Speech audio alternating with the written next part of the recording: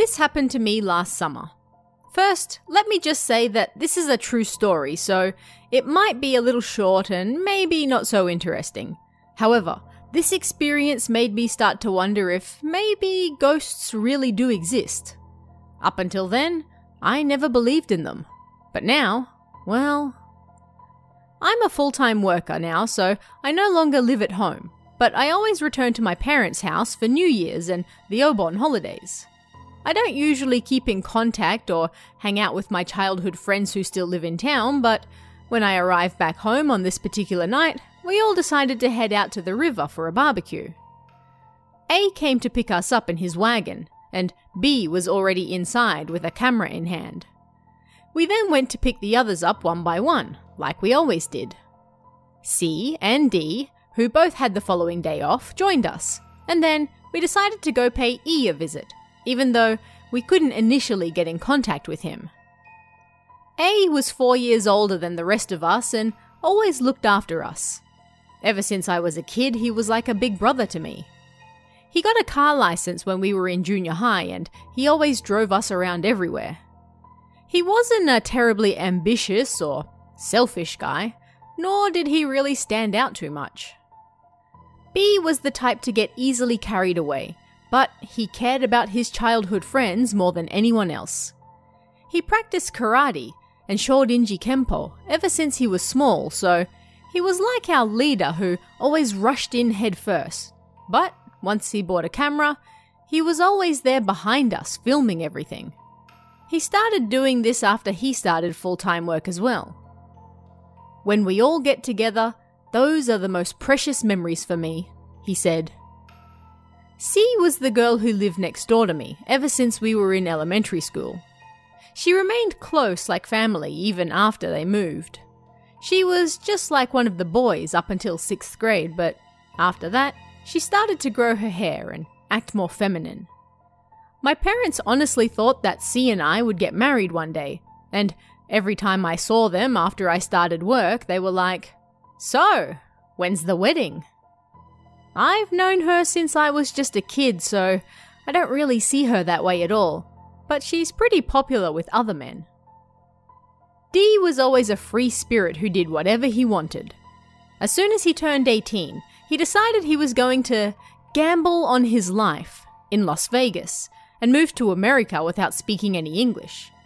He lost everything and almost became a vagrant there. The first thing he said upon returning home was, I sure would have been in deep shit if I didn't buy a return ticket first. E was accomplished in both sports and smarts. He was intelligent, physically strong, and a great judge of things. He was like a perfect main character you might see in a manga. His weak point was that he was rather outspoken, so this often resulted in small quarrels. In contrast to A, he was rather ambitious and a little full of himself. And once again, A is our designated driver, huh? I said in the car with a laugh. Dude, don't call me that. If I don't pick you up, then you'll all just park your junk at my house. So, anyway, I heard that E quit his job. Seriously? I said. But he said that programming was pretty fun. What's he doing now? What a waste of a brain. Ah, yeah, I heard that too, B said.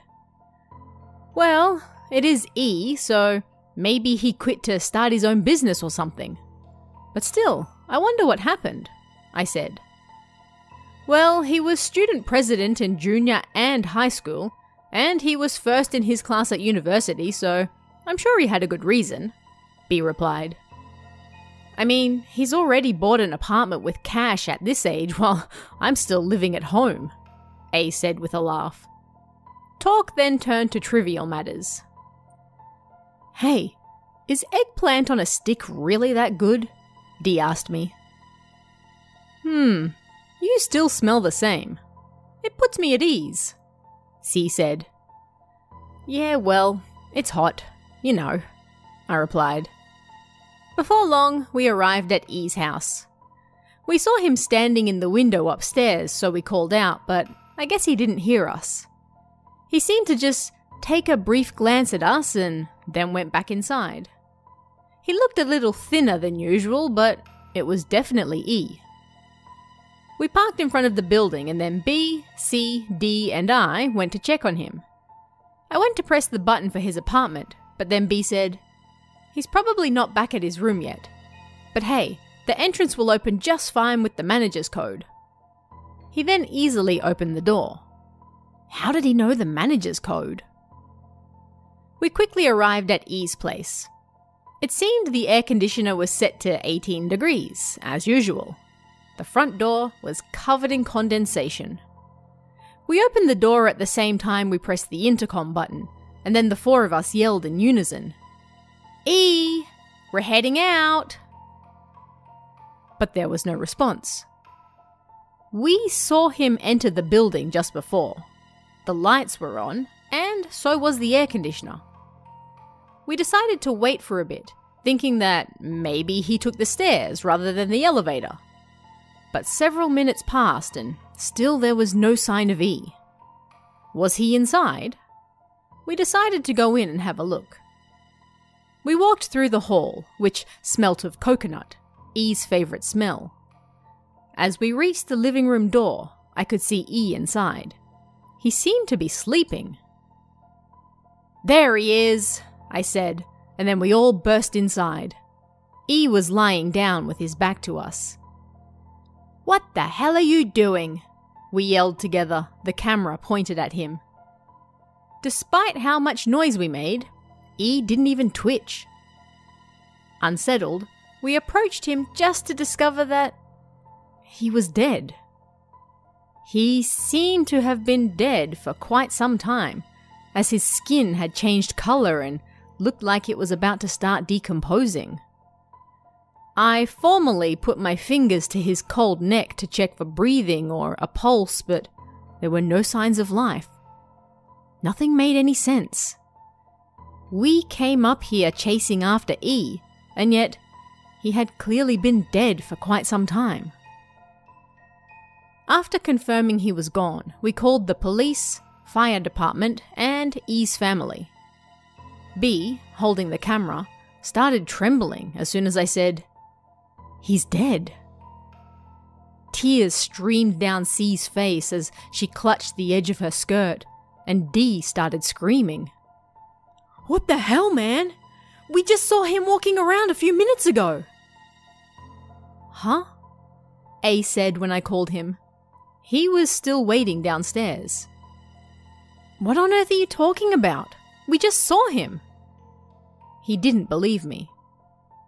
The police and fire department are coming now, I said. It was all I could say. Before long, they arrived and we explained the situation. We followed him up here, we said, and of course, the police were confused. I caught it all on camera, B said, and then showed them what he recorded. In it, you could see E lit up by the car's headlights. We were all in shock. They soon finished interviewing us on the scene, and then forensics showed up.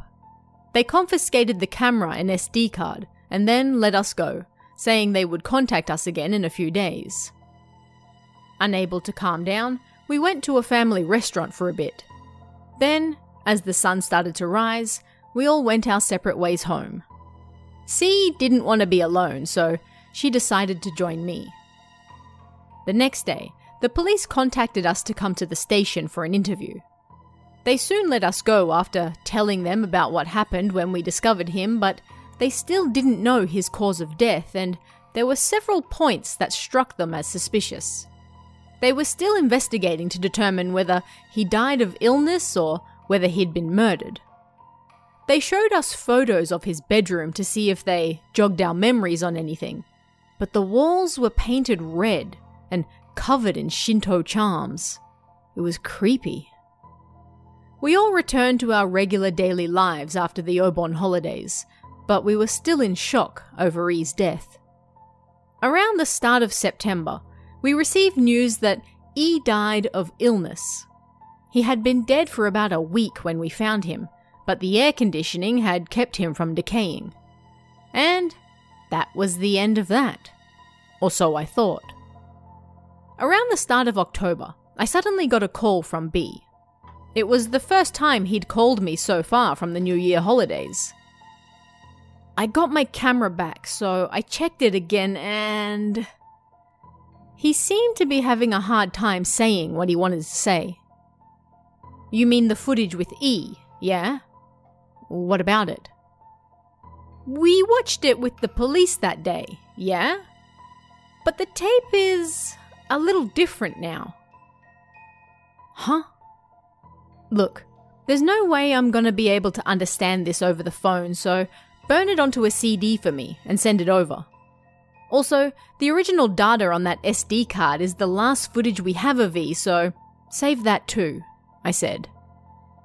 Yeah, I'm not gonna erase that, B said. But don't tell C. She's still upset and all. I knew that B had liked C since at least junior high school. I watched the CD when it arrived, and just like he said, it was definitely different to when we watched it on the day. E had just glanced at us, but in the video, he stared at us for several seconds. Did you edit this? I asked B, but he said he hadn't touched it. I enlarged it and watched it several times, but I couldn't find anything else different, so I left it at that. In November, Another CD arrived from B. The video has changed again, said a letter inside. The file I copied onto my computer hasn't changed, only the one on the SD card has. When I watched it, E seemed to be talking to the camera. I couldn't hear anything, nor could I make out what he was saying, but his mouth was moving. When I returned home for the end of the year, eight of us childhood friends got together and held a big welcome home, year end, and year start party like we always did. The only thing different was that E wasn't there. Around lunchtime on January 1st, the party that had been going since December 31st finally ended and we all went our separate ways. I went back to my parents' house first and then to B's. Once there, we checked the video again, and once more, it had changed. It was difficult to make out, but it sounded like E was groaning. Maybe he was trying to tell us something. There was nothing we could do but wait until he could tell us. This month, February, I received a video where I could just barely hear him. Everyone, Thank. I'm sorry. I can't. Don't go near. That's all we've been able to make out so far. The voice jumps in and out, so I may have misheard the first part where he was thanking us. Was the second part of the message trying to protect us from death? E's message is still ongoing and changing. If ghosts really do exist and you could talk to them, I'd love to see E again. What does he want to tell us? What happened to him? But I also want to tell him something. I want to tell him, thank you. This is B. This is a follow up to my friend in the tape. T, who posted the previous story, wrote everything that happened up until Golden Week of 2012. This is related to all of that, and I'm posting what he wrote. I wrote that after E's death, we returned to our regular daily lives, but after having seen such a strange situation take place firsthand, I decided to investigate it. I tried not to let the other three see his bulging, wide open eyes and the scratches on his neck. I can still vividly remember the insane photos the police showed me of his bedroom as well. During my investigations, I visited E's mother on numerous weekends to check that she was okay. His father passed away before I met him as a child, and she did her best to raise him all alone. Because it would take my friends about three hours one way on the plane to return to our hometown, or five hours on the bullet train, I decided not to contact any of them during my trips.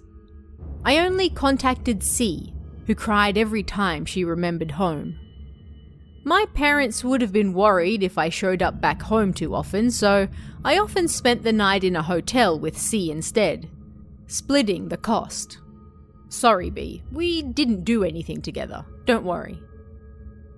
After talking to E's mother about half a year after his death, I got permission to go through his apartment and belongings, and I found a laptop and a notebook stuck to the back of the drawer in his desk. They looked like they might hold some clues, so I borrowed them from his mother and took them home to investigate further. What is it about smart people? Like doctors, why is their handwriting always so messy? There were keywords written all over the place, ignoring the lines, and calculations scribbled here and there. There was even some wild stuff like, what our friends should bring to the wedding of C and I. All of this was just in his head, of course. Just looking at the contents of the notebook made my head hurt. But then, as I reached the end, I found a page with the words Campsite Candidates written in large letters. Beneath that, there were various words written, like several numbers, and the words Abandoned Road and Cave. Using the numbers as latitude and longitude, I found a potential campsite candidate, and then I found a hidden folder on his PC with those same numbers that was locked behind a password. I tried various words related to E, and in the end, it was C's name that unlocked it. Inside was a report on the location in question, and a situation forecast. It seemed that while researching for our yearly summer camp, he came across something interesting. Every year, all of us childhood friends always went camping together during the summer. When we were in elementary school, our parents went camping with us, but when A got his driver's license when we were in junior high, we went alone after that. And once our parents stopped joining us, well, we didn't have much money, so our camps tended to be outside of camping grounds, and all we had was just a bit of food and water some snacks and firewood. That was it. It was more like a survival camp. But it was the thing I looked forward to most each year. Maybe because I lived in the city, and it was a nice escape to spend some time in nature. So, anyway, that was why it was hard to find places to camp, and in some worst case scenarios, we had to camp in the forest by the side of the road near the prefectural border. When I put the coordinates into a navigation map I found in E's laptop, it pointed to a mountain on the border. There were also several photos in the hidden folder of the site in question, so I looked at them in order. There was an abandoned road, a river, a waterfall, the waterfall basin, and a cell phone, out of range. And then a cave next to the basin. The waterfall was about 20 minutes from the river by the abandoned road, and there was a cave next to that, so it seemed that camping there was possible. I was impressed that he even tested the quality of the river water with a testing kit first. After reading a little more, it seemed the cave appeared after a recent earthquake caused a cliff to collapse. The cave was 2 meters high and 1.5 meters wide. It gradually got narrower the further you went in, and was about 20 metres long. The walls weren't wet, and there was no airflow, so it was a dead end. The rock walls were also solid, so there was little fear of collapse. However, even though this was a natural cave that appeared after a cliff collapsed in an earthquake, there were traces of artificial blockage at the rear. The wall beside the rear was about to collapse, and another cave continued even further in. While the cave on this side was made of natural rock, the cave on the other side was about 70 centimeters long and wide, and it was partially walled off with bricks or something man made. E managed to make a hole in the wall and enter the other cave, but the other cave didn't lead outside, but rather down into the ground. Because he wasn't sure of the oxygen levels or if there might be toxic gases, he went home for the day, then returned with a manual compressor. Something like a vaporizer you might find in a home centre, with an additional tank. He walked for a while as he pumped air into his mask, and then it seemed he finally reached the deepest part of the cave. He gradually reduced the air pressure and checked to see if he could breathe freely, as he would pass out immediately if it was full of gas. The room was about 3 by 5 meters, and in the back was something like a man made altar. He examined it and found a pattern he'd never seen before, alongside something that looked like a sarcophagus. There was a beautiful black stone, and when he touched it, he heard a voice in his head, but he had no idea what it was saying. It was a language he'd never heard before. What the hell? He grew more and more terrified and then ran from the cave. Even though it should have only been around 2 in the afternoon, outside was pitch black, and his watch had stopped at 1. The darkness and the voices that wouldn't stop scared him to the bottom of his soul, so he immediately went home. Although he couldn't remember much, apparently, about eight hours had passed. He tried to go to bed, but the voices wouldn't stop, so he got up and summarized everything that happened. Nothing made sense after touching that sarcophagus, however, so he got annoyed and gave up. He decided to visit a specialist the next day, wondering if schizophrenia was the cause of the voices that wouldn't stop. And after that, his diary took a turn, recording events in mostly words and short sentences. He took medicine, but his symptoms got worse by the day. On the fifth day after touching the sarcophagus, he started to see something like red mist clouding his vision. He visited the doctor and told them that things were getting worse, so please change his medicine. But nothing worked.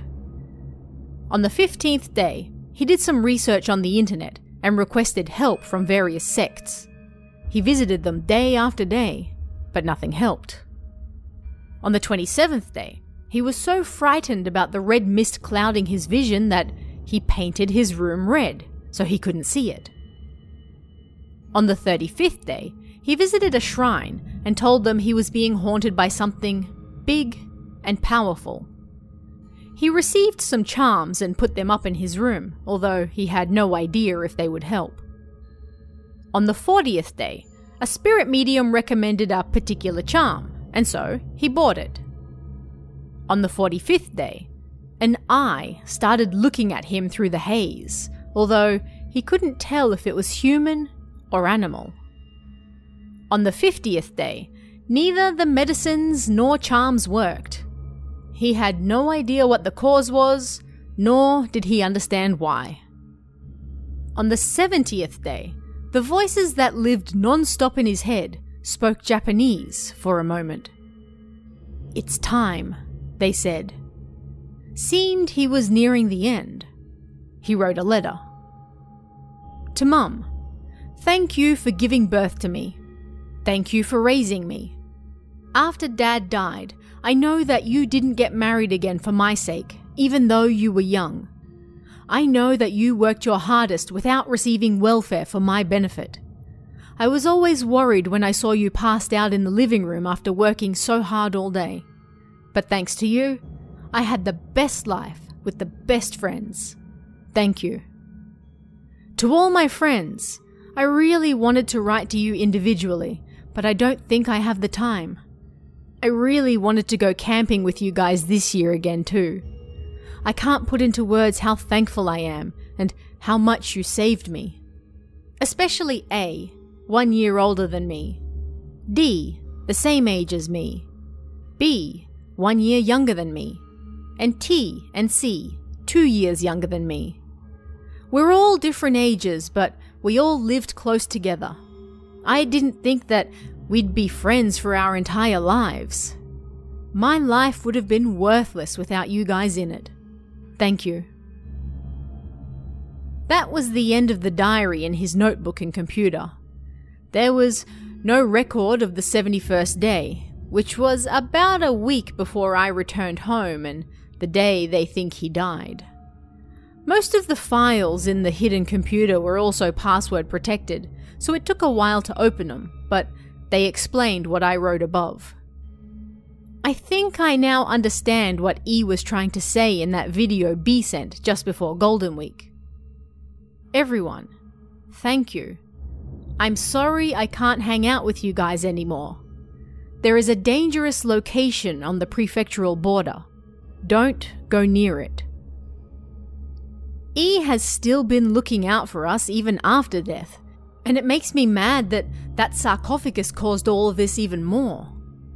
But as I was researching all this, I heard a bell ring in my head. I'll be investigating that cave during the summer because of the danger of winter snow. During Golden Week, I'll do some recon and prepare the stuff I need to go there myself. This is B, and this is a follow up to my friend in the tape, too. I'm posting this for T, who wrote about the 2012 Golden Week holidays. T wrote this himself at the end as well, but it seems he was rather scared of that cave. There were so many sentences and conversations that weren't necessary. He wrote two pieces about Golden Week, but I've taken the longer one, as it paints a bigger picture of T and C. During Golden Week of 2012, I quickly returned to my parents' house, but before then, I went to visit E's mother to return the stuff I'd borrowed. There was a message here for you, I told her, but I erased everything else from the laptop and notebook. After returning those, I went to visit B, who was the only one who knew about the video.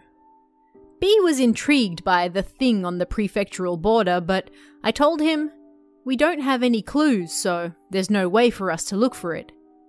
I knew that if I told B about the cave, then he would immediately want to go, so I prepared quietly without telling anyone about it.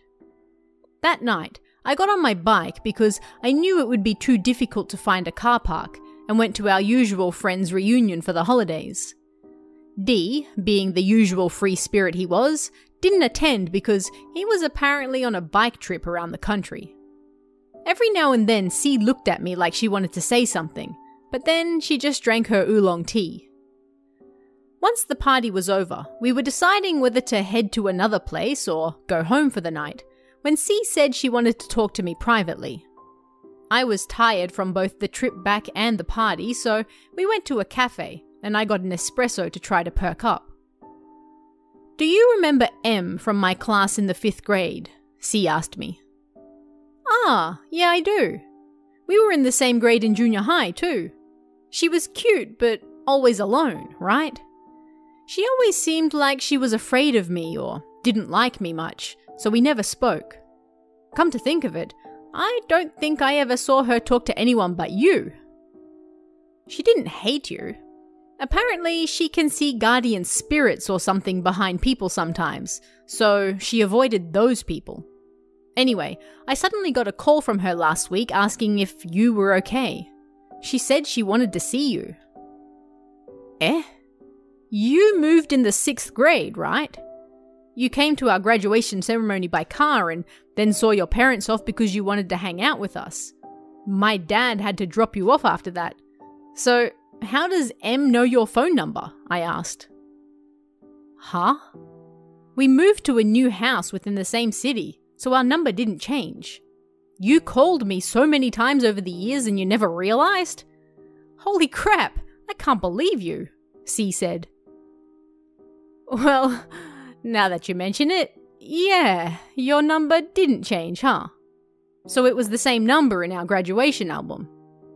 Anyway, if she wants to see me, as long as it's not this day or this day, then it's fine. Do you think she's grown into a hot babe?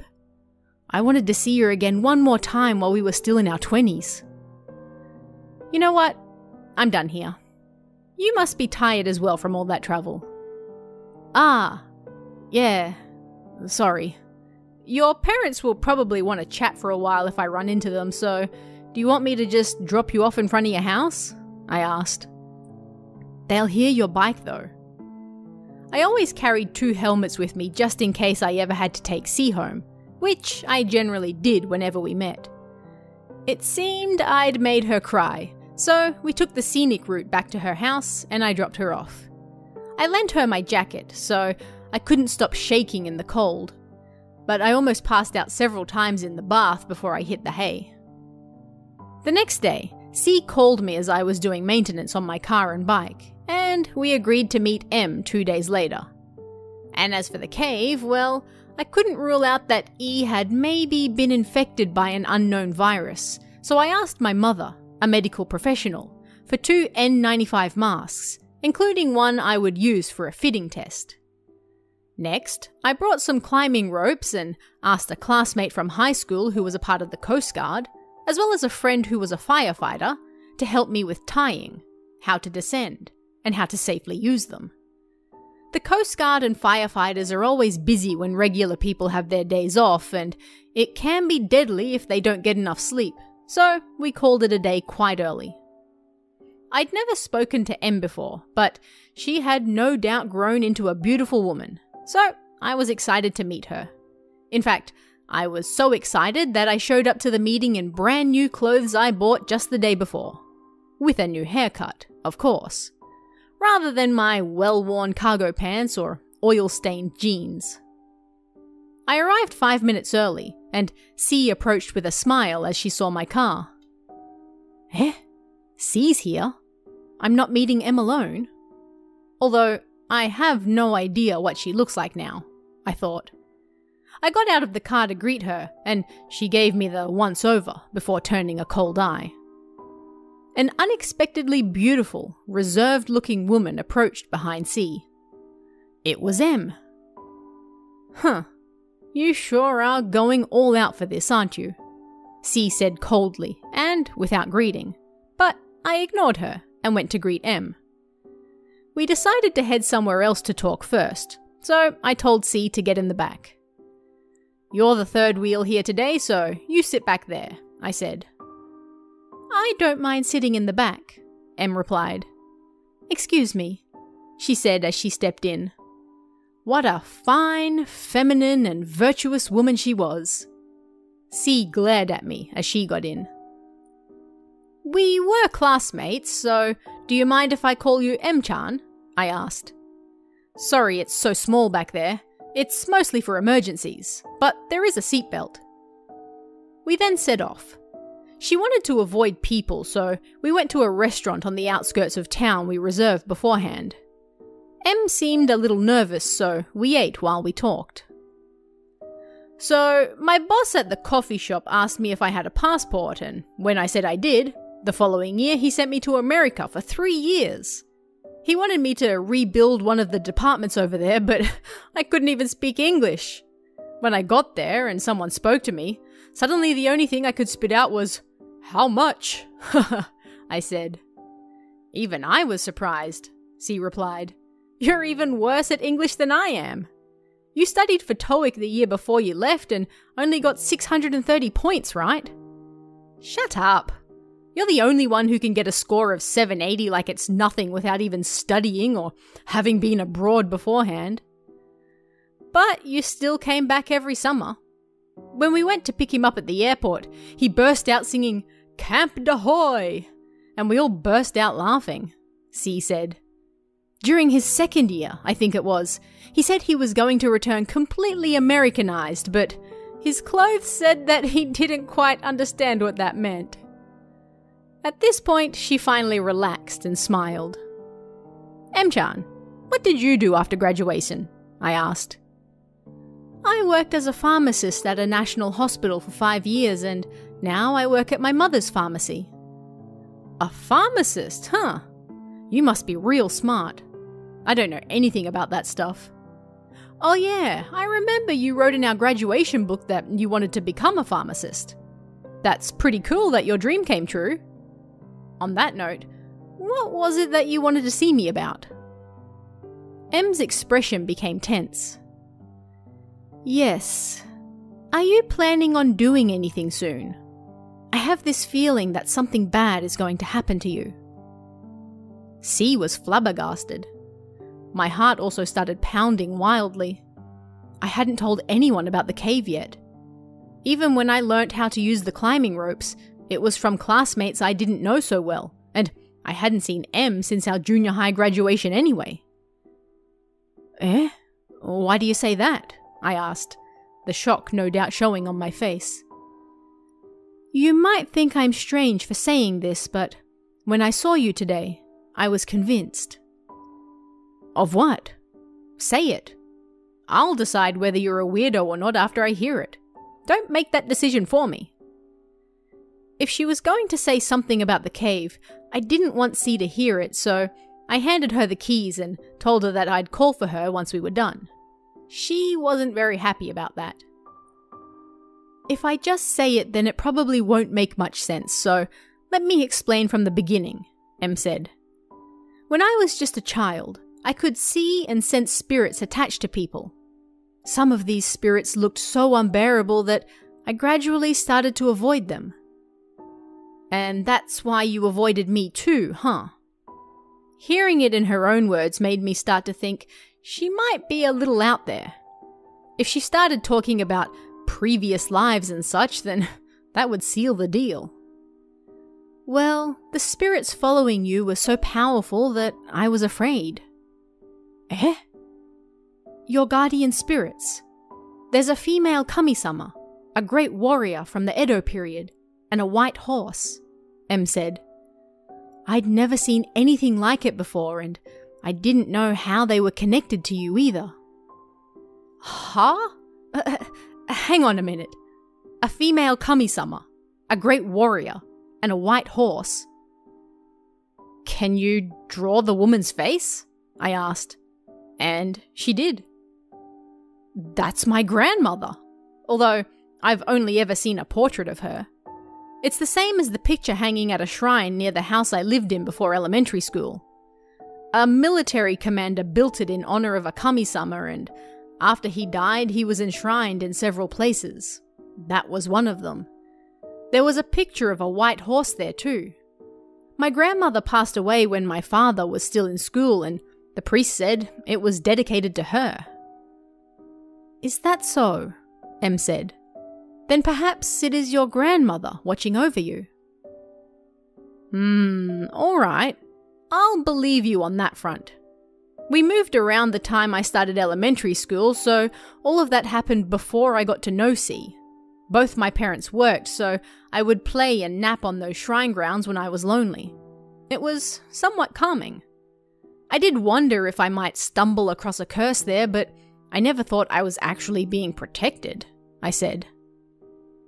A few weeks ago, your guardians appeared in my dreams and told me to stop you.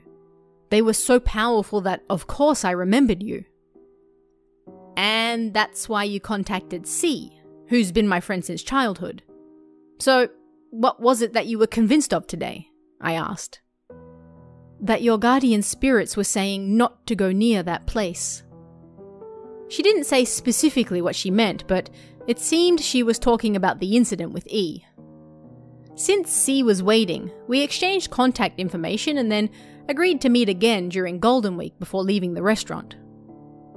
On the drive back, C said something strange when she heard we were talking about guardian spirits. Oh, yeah. Not long after you moved in next door, you disappeared right in front of our eyes one day. Huh? What the hell does that mean? Both M and I said. What, you don't remember? A, B, D, E, and I were walking down this road one day, and you were on the other side. A and E called out, and you ran out just as a car came zooming by. We thought it was going to hit you, but then you just weren't there. We were shocked, but then you appeared right in front of us, smiling, C said. I don't remember that, but there's no way. That road is a busy three lane road.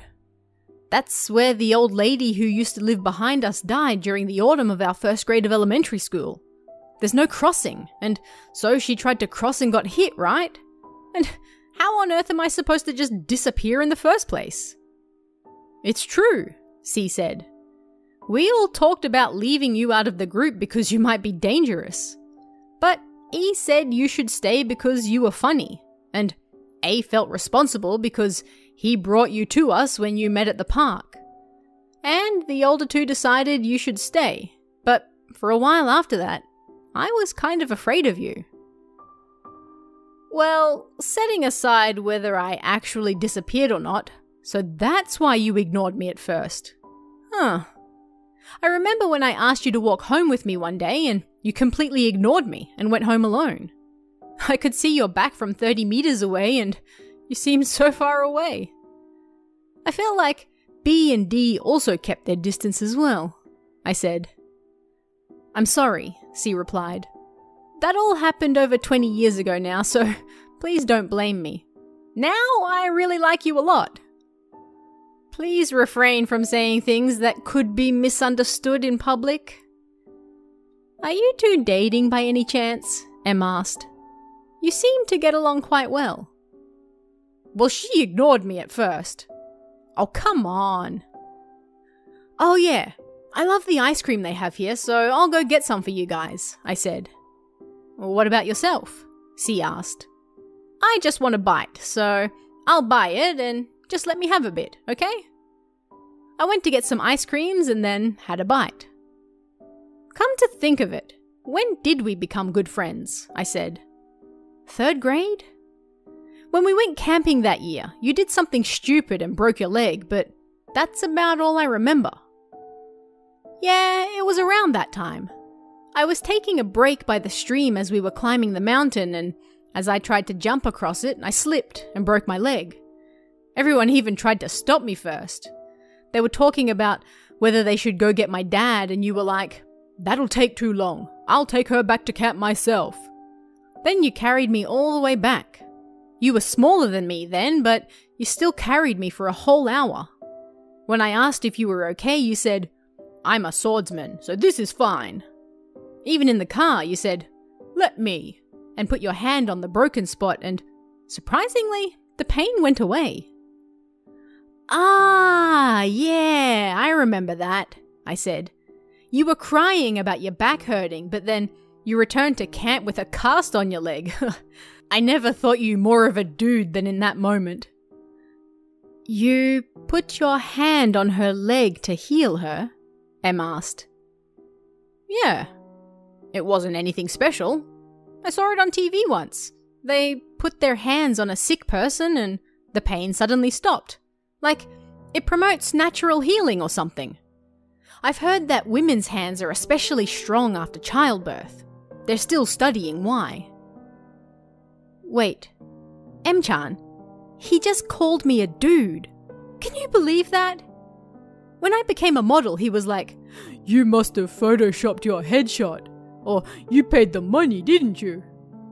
Even though it was them who scouted me. And when I appeared in a magazine, he said, What kind of animal guide is this? He called me an animal. That's awful, Em agreed. Right.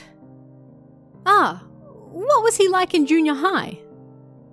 Hmm, he was still playing tag in the second grade. I saw him jump off the second floor veranda whilst being chased once. The kids in the other classes were all shocked by the kid chasing him was just like, damn it, he did it again. Like, he always did that. But then we had a full school assembly just before the summer holidays and we were banned from jumping off the verandas. What are you? A monkey? C said.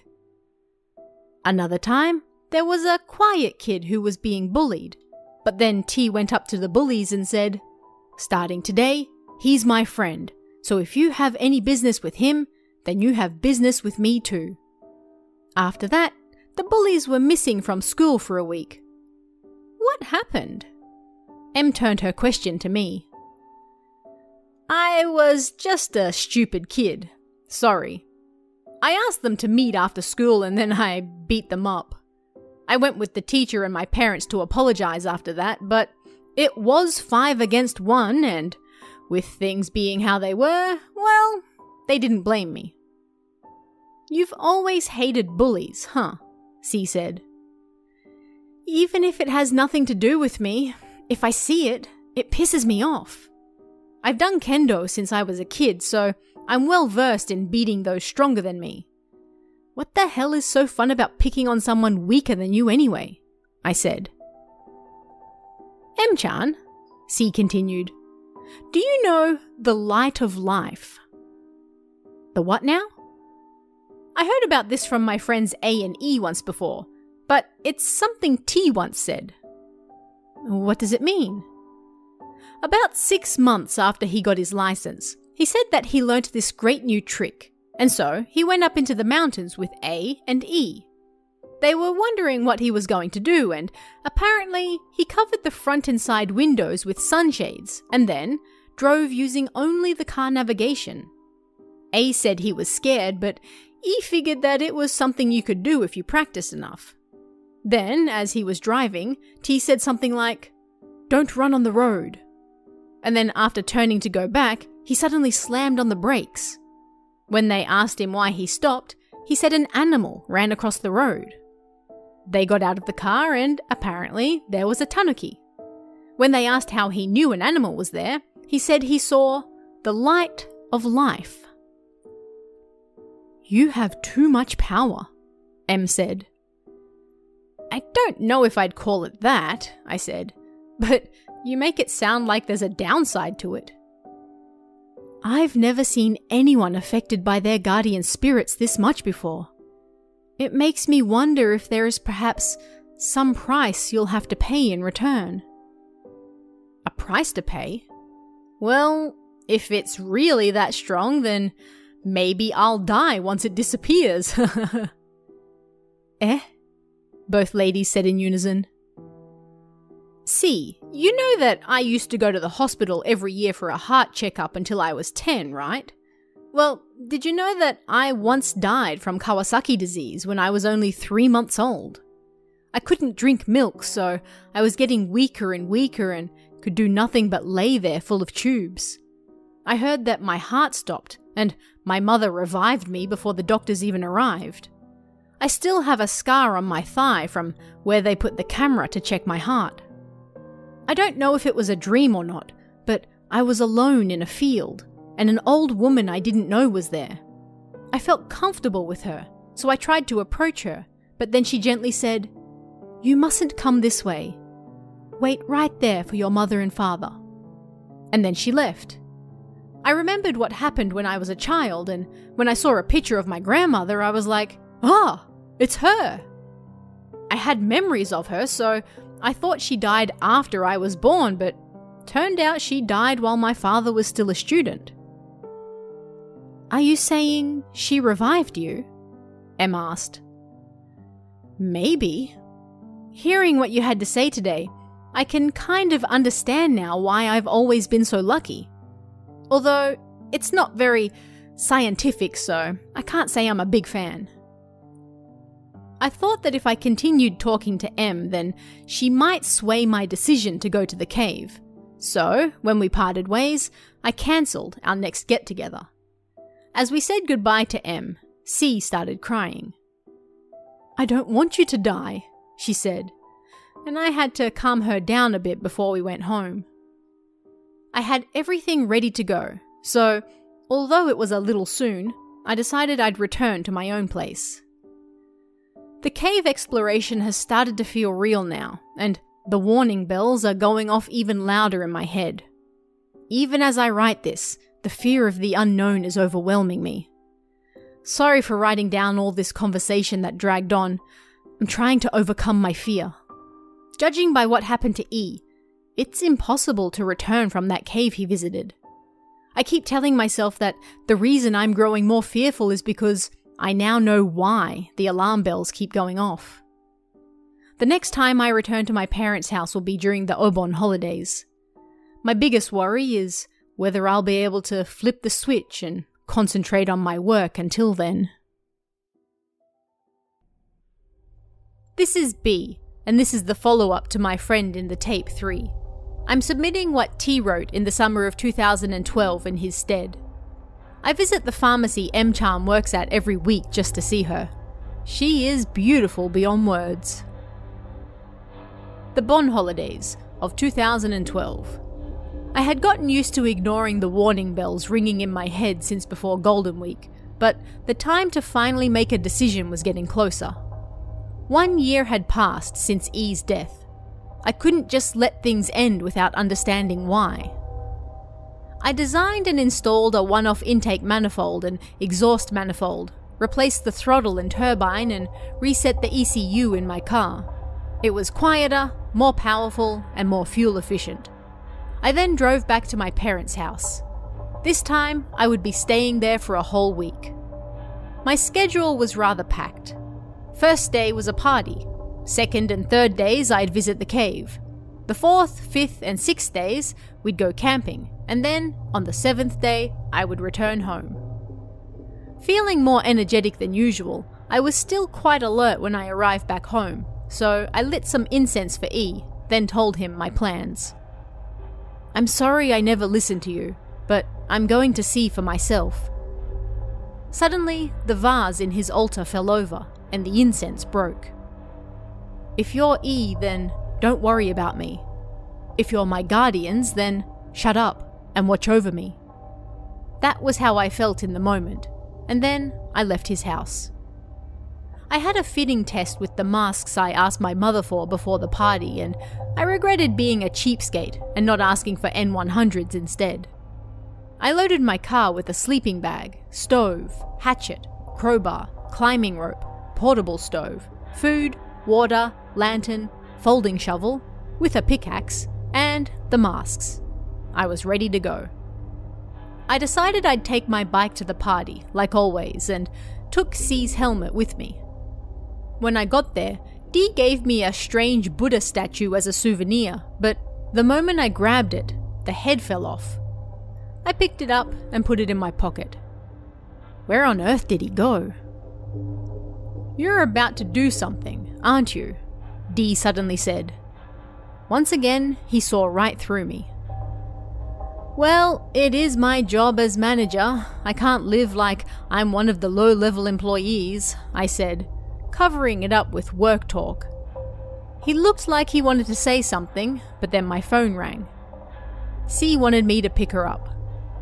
Her mother stopped me when I arrived at their house. We were in the middle of our get together, but still, she invited me in for tea and snacks. And C wasn't even ready yet. When I was done catching up with her mother, C was finally ready to go. And once we were all together, we got to talking about the camp. We've found a great place for this year's camp, I said. Where? Dee asked. It's got a hot spring, A replied. For real? It's about a two hour walk from the car, though, A continued. T sent me a message with the coordinates and asked me to check it out. How did you find it? B asked. I like little known hot springs, I replied. You can find them on topographical maps. Often they're dried up, but if someone brings a shovel, we can dig a bath. Hey, you remember a girl from high school called F, right? D suddenly said. Do you mind if I bring her along?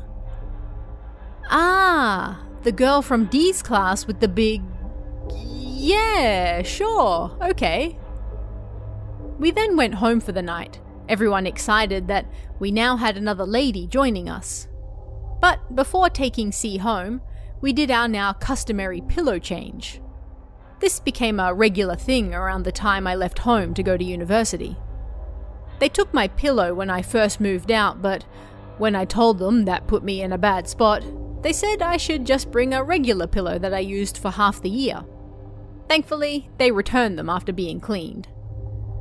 I took C back home and then got my fluffy pillow, as I turned the lights off and got into bed, I saw the shadow of a person in my old TV that I used to use.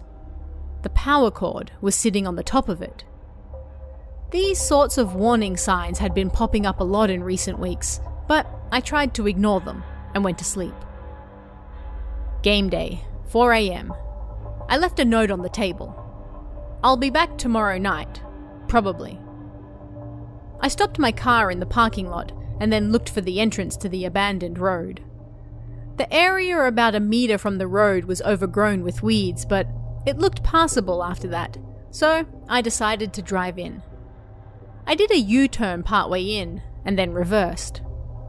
Using the rear view camera, I checked the path on the screen, and a section of the road about 50 centimetres wide had been wiped away from flooding, so I stopped the car. I got out and noticed so much soil had settled that it buried the guardrails. This made it hard to tell, but it seemed I'd arrived at the bridge. I'd lose my car if the bridge collapsed, so I moved it back off and then went down towards the river. According to what E wrote, I had to follow the river for about 20 minutes, but I reached the top of the waterfall in 15. I took out the climbing rope and then descended. The cave really was there. Seeing it with my own eyes, it looked bigger than I expected. I washed my face in the clear water and then sighed. I was finally here. 12 pm. I settled in front of the cave and unpacked. I gathered some firewood for that night, cleaned up, put on the mask, and then went into the cave. As E said, the back of the cave looked like natural rock from the entrance, but up close, it was made of crumbling bricks. This was the right place. My excitement grew. I reached the back room and checked the altar. Although it looked man made, there were no signs it had been carved out. I examined the sarcophagus, careful not to touch it, but I couldn't see any joints anywhere. If there had been a lid, then I could have used my crowbar to open it. I used my knife to try to cut a piece off so I could examine what it was made of, but I couldn't cut anything off. I hit it with the crowbar, and it sounded hollow. What else could I do? I hit it as hard as I could to try to make a hole. The tip shattered with the first blow, if it was something physical that killed E, then I had to keep my mask on to examine the inside. But if it was something spiritual, like M said, then there was no way my guardian spirits would stay quiet. Regardless of which it was, I was ready. As the one meter crowbar started to reach its limit, there was a crack and the hole finally opened. The moment I went to peer inside, something hazy floated out of it. At the same time, I heard what sounded like a scream, and my vision flickered. I was so dizzy that I could no longer stand, and I fell down against the sarcophagus. You fool! I told you to stop! In my daze, I heard an angry voice, and then I passed out. I don't know how long I was out for, but eventually I woke up. I had no energy and was racked by chills, and the alarm bells that had been ringing since before Golden Week were gone. There was nothing like the voices E mentioned in his logs, though. My mind was remarkably clear. This was different to what E said. Was it over? I crawled outside, took my mask off, and took a deep breath. Finally able to get some air, but being unable to stand up at the same time, I let out a bitter laugh. The sun was setting. The clock on my phone said it was just after 6 pm. I made a fire and cooked some blocks of meat, and then I boiled some water for coffee. The food gave me a little strength back, and then I set my alarm for 9 pm and got into bed. Before 11 pm, the alarm awoke me up and I had regained some strength. I added more wood to the fire so it wouldn't go out, and then went back into the cave. I looked inside the sarcophagus, but it was empty. I touched it, but nothing happened. Putting some pieces that had chipped off into a case, I retrieved the now bent crowbar and then left. In order to seal the room, I would have to tie the ropes into a pulley system to move some large rocks. By the time I was done, it was morning. I cleaned all traces that I had been there, and then went back to my car. As soon as I sat down, I burst into tears of both relief and accomplishment. When I reached an area where I could get phone service again, I got several messages. I pulled over to check. They were from M and C. Starting from 1:30 the day before, she sent 5 messages every few hours. They all said the same thing. Please contact me. I'd sent her a few messages and spoken on the phone a few times since Golden Week, but she'd never sent such short, brief messages like this before. What happened? What did you do? She kept saying when I called her. Look, I'll come see you soon. It'll take me about three hours, I said politely and made my way towards her pharmacy. When I got there, she was waiting in a white coat. She rushed over to me with a surprised look on her face. Why is your grandmother the only one here? Huh? Exactly what I said. Why is your grandmother the only guardian spirit here? And what's wrong with your face? I was born with it? Sorry, I'm not that good looking. That's not what I mean. Don't you feel sick? You're so pale. Can you stand? When I got out of the car, I fell to my knees. The image of a man falling to his knees in front of a beautiful woman was so embarrassing that I could have died. No, I can't, I said, and M went back into the store before returning with her mother. They carried me to their house out the back. Oh, wait, I have to move the car, I said, but M stopped me. I'll do it. I drive a manual, so it's fine. Ah, you left it running, so that's why you're worried, she said, and then ran towards the car. Hey, wait! I tried to scream. M's mother and I waited in silence as various bangs and crashes came from the direction of my car. Is everything okay? I said, trying to rush over, but I fell back down again. Could I look any more pathetic? M's mother ran to the rescue, while things weren't exactly okay, she managed to stop the car right by the edge of the wall. She looked pale after having her first accident. I'm so sorry, she apologized, but I asked her to start the engine again so I could at least check it. There was no sound of compression leakage, so it seemed to be okay. After checking everything else, it seemed perfectly fine. It would still run. At a glance, the bumper looked like it was going to fall off, but some tie wraps would hold it over. M didn't appear to be injured, and I refused to call the police about it or take money for the repairs. Then we went inside the house. M's mother put out some bedding in the guest room, and I sat down on it. I also refused the hospital because I had plans to go shopping for our camping trip that evening. M's mother, who was very apologetic, told me she was happy I was so concerned about her and M rather than the condition of my car, and then went back to the pharmacy, which she had left open. M, meanwhile, curled up and was about to cry. Our conversation was going nowhere. I laid down, sleeping after being on the move all night. Have you ever heard of the Buddhist saying, all worldly things are transitory? There's something similar in the tale of Heike. The sound of Gion Shoja bells echoes the impermanence of all things. All things will eventually break. It just happened to be today, so don't worry about it. And it still works just fine, I said. But there's a difference between something breaking and breaking something yourself. Your car is important to you, isn't it? M said. I felt myself getting angry. It wasn't like you did it on purpose, was it? But look, I'm gonna go to sleep, so in exchange, you can hold my hand. Then we'll call it even. I fell asleep immediately, like three seconds after the conversation was done. I woke up feeling something strange on my face. M's face was right next to mine, surprising me. Not to mention, she was looking right at me. It was honestly kind of scary.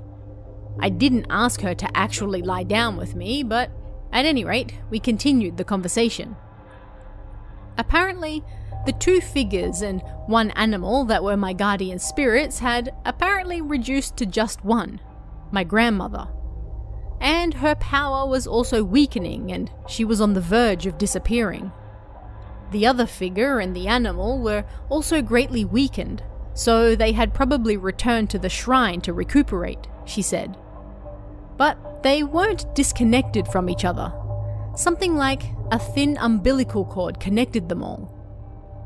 She also said that because they existed through people's faith and the number of worshippers had decreased in recent times, it would probably take them even longer to recover.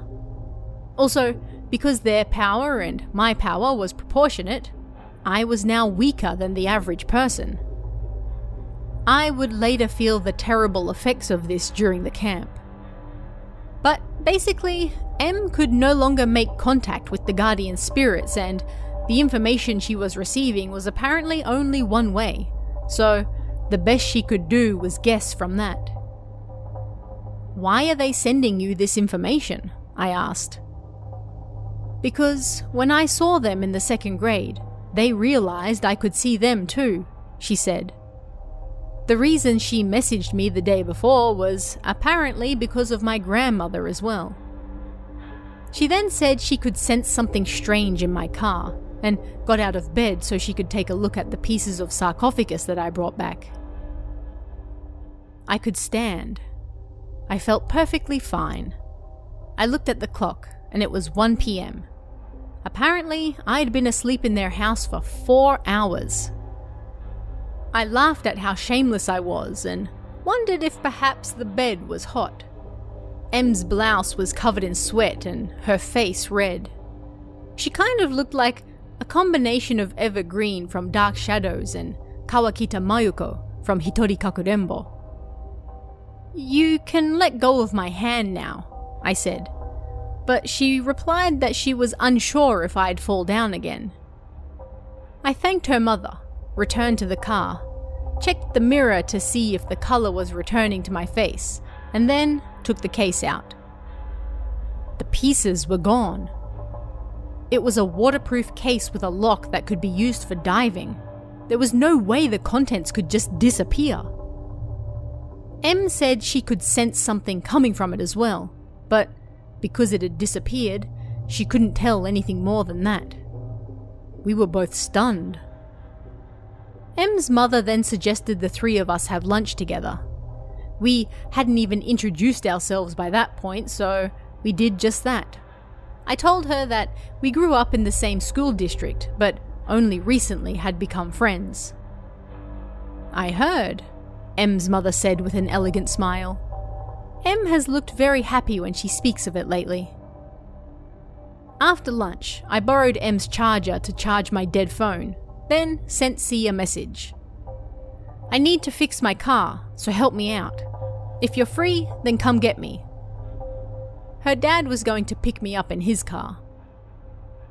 Before hanging up, M took the phone and told C all sorts of things she didn't need to, like how she caused the accident, and how I couldn't even stand up.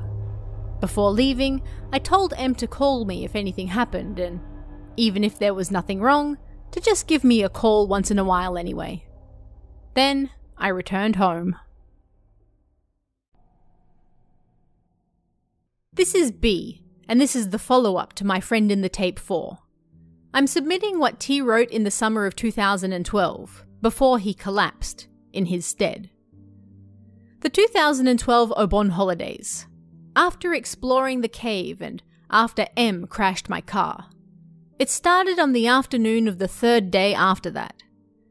I dropped by M's pharmacy to tape up the bumper that was falling off and then returned to my parents' house. I was preparing my tools to fix it when C arrived. I tended to do the work myself, but it's easier when I have an assistant who I can just say stuff like drill tie wrap to as well. Twenty minutes passed and I started joking around with C, but then she suddenly confronted me as to why I was at M's place to begin with. I thought that mentioning the weakening of my guardian spirits would inevitably lead to talk of the cave, so I decided to step around the issue. Still, she refused to give up. Remembering the shrine, I succeeded in getting her in the car instead, so we could go for a drive until it was time to go shopping. I also wanted to take the car for a test drive, so I got on the highway and briefly floored it.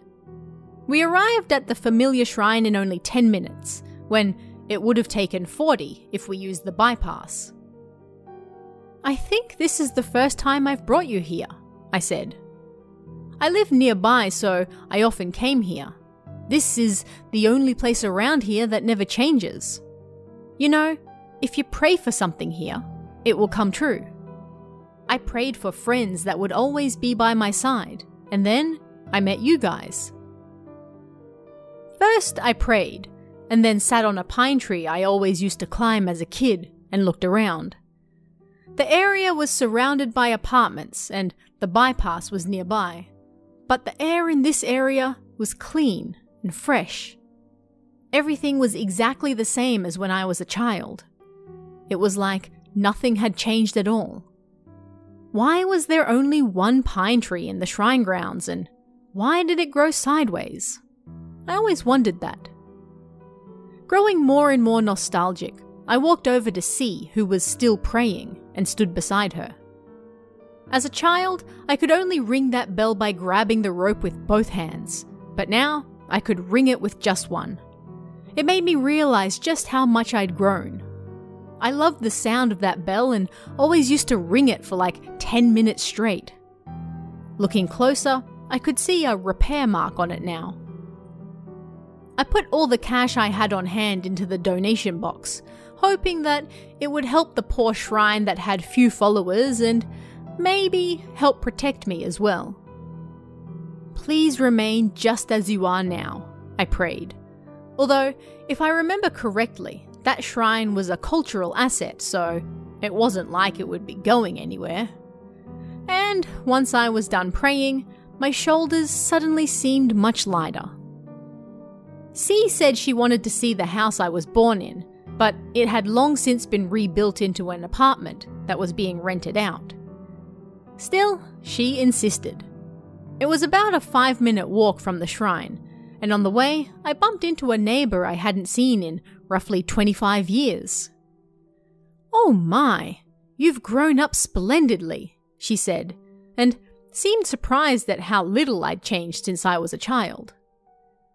We got back in the car and C drove us to the supermarket where we were planning to meet up with everyone. I fell asleep on the way, and when I woke up, I was surrounded by everyone who was going camping with us. I got out of the car to go shopping, but everyone kept a slight distance from me. As I suddenly caught a glimpse of myself in the window, something seemed off about my face. Looking closer, there were eyes drawn on my eyelids, a fake beard, and swirls on my cheeks.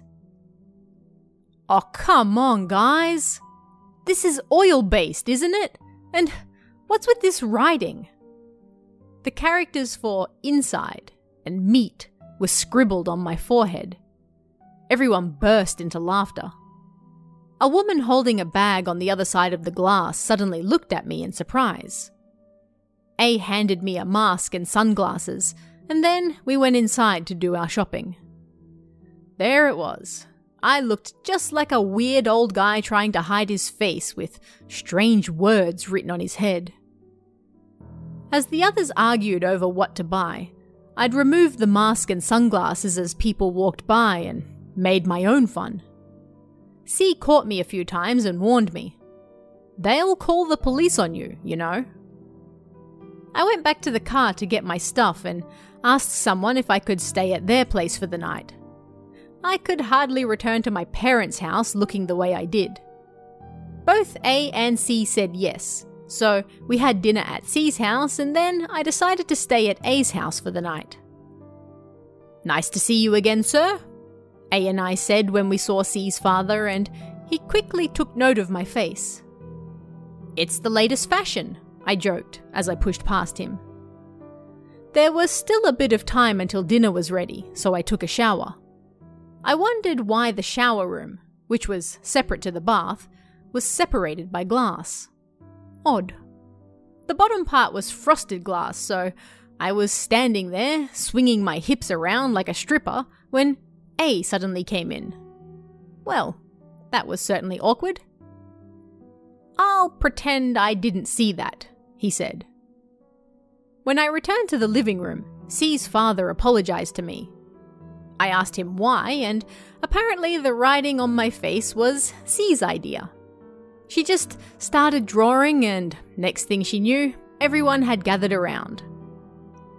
Be grateful she didn't colour in your front teeth, A said.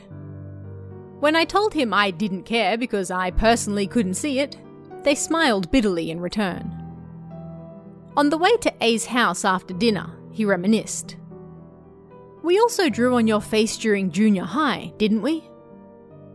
Not long after we started junior high, I fell asleep at B's house, and then he, A, D, and E took my clothes off and drew hairs all over me. I was still a hairless kid who wished to be an adult at the time, so I added a happy trail myself and then posed for them all. But then B's mother came in with some tea and saw me. When A's parents saw my face, we told them they were just imagining things, and then we went to bed. The fourth day of the Obon holidays. Finally, it was time for our once a year camping trip, the thing I always looked forward to the most. We went in two separate cars, A's and D's. F and D wanted to be alone in D's car, so the rest of us went in A's. B sat in the passenger's seat while C sat in the right rear seat and I in the left. You've been sleeping quite a bit lately. Are you feeling unwell? A suddenly asked me on the drive over. Ever since high school, you've made it a habit to never sleep more than three hours a night, right? But this morning I could barely get you up at all. Yeah, I've been worried too, C chimed in. M-chan said you were too tired and to let you sleep, but you slept for more than an hour in the car yesterday. Normally, if I make a wrong turn on the way somewhere, you'll wake up and say something like, turn right at the next light. Hearing that, it suddenly hit me. Ever since I started my job, I made it a habit to only sleep three hours a night, and then 15 minutes during lunch. The rest of my time I used to study and work on myself. I'd been living like this for 15 years, so I was quite used to it. But ever since I destroyed the sarcophagus, I slept four hours at the cave, three that night, then four hours at M's house, one hour in C's car, and six hours at A's house, for a total of 18 hours sleep in 42 hours. I don't know. Ever since yesterday, I just fall asleep once I let go, I said, and then soon fell asleep again. Was this in reaction to the loss of support from my guardian spirits?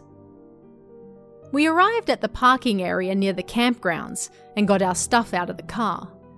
There would be nowhere for us to get food nearby, so we had a lot of food and drinks with us. Normally, I would carry the heaviest stuff and joke about the others getting me a drink in return, but this time around, I wasn't strong enough to do it. Usually, I could lift up to twice my body weight without any sort of prep. I tried to stand with a load on my shoulder, but there was no strength in my legs. Seems he's not feeling too well today, A said to D, who looked confused. A, B, and then D took turns carrying the heavy stuff instead. I grabbed my stuff and two tents, and then we made our way towards the campgrounds. After a two hour walk through the mountains, we reached the campsite. We quickly found a spot to pitch our tents and put three up. Then asked D and F to find some firewood while we dug a bath. C wasn't strong enough to help us dig, so we asked her to tie some picnic sheets together to make an enclosure instead. Because the hot spring source was around 52 degrees, we dug two baths, one warm and one hot, and then two small baths in which we could fully lie down. Then, as I was about to chop the firewood they had brought, F approached me. Hey, you don't look so good, she said. She was D and E's classmate, and after high school, she moved to another prefecture with her family and became a nurse before coming back. D, E, and F all transferred to my school during junior high, which was how I knew them. D and F started dating in high school, but after F moved, he never dated anyone else.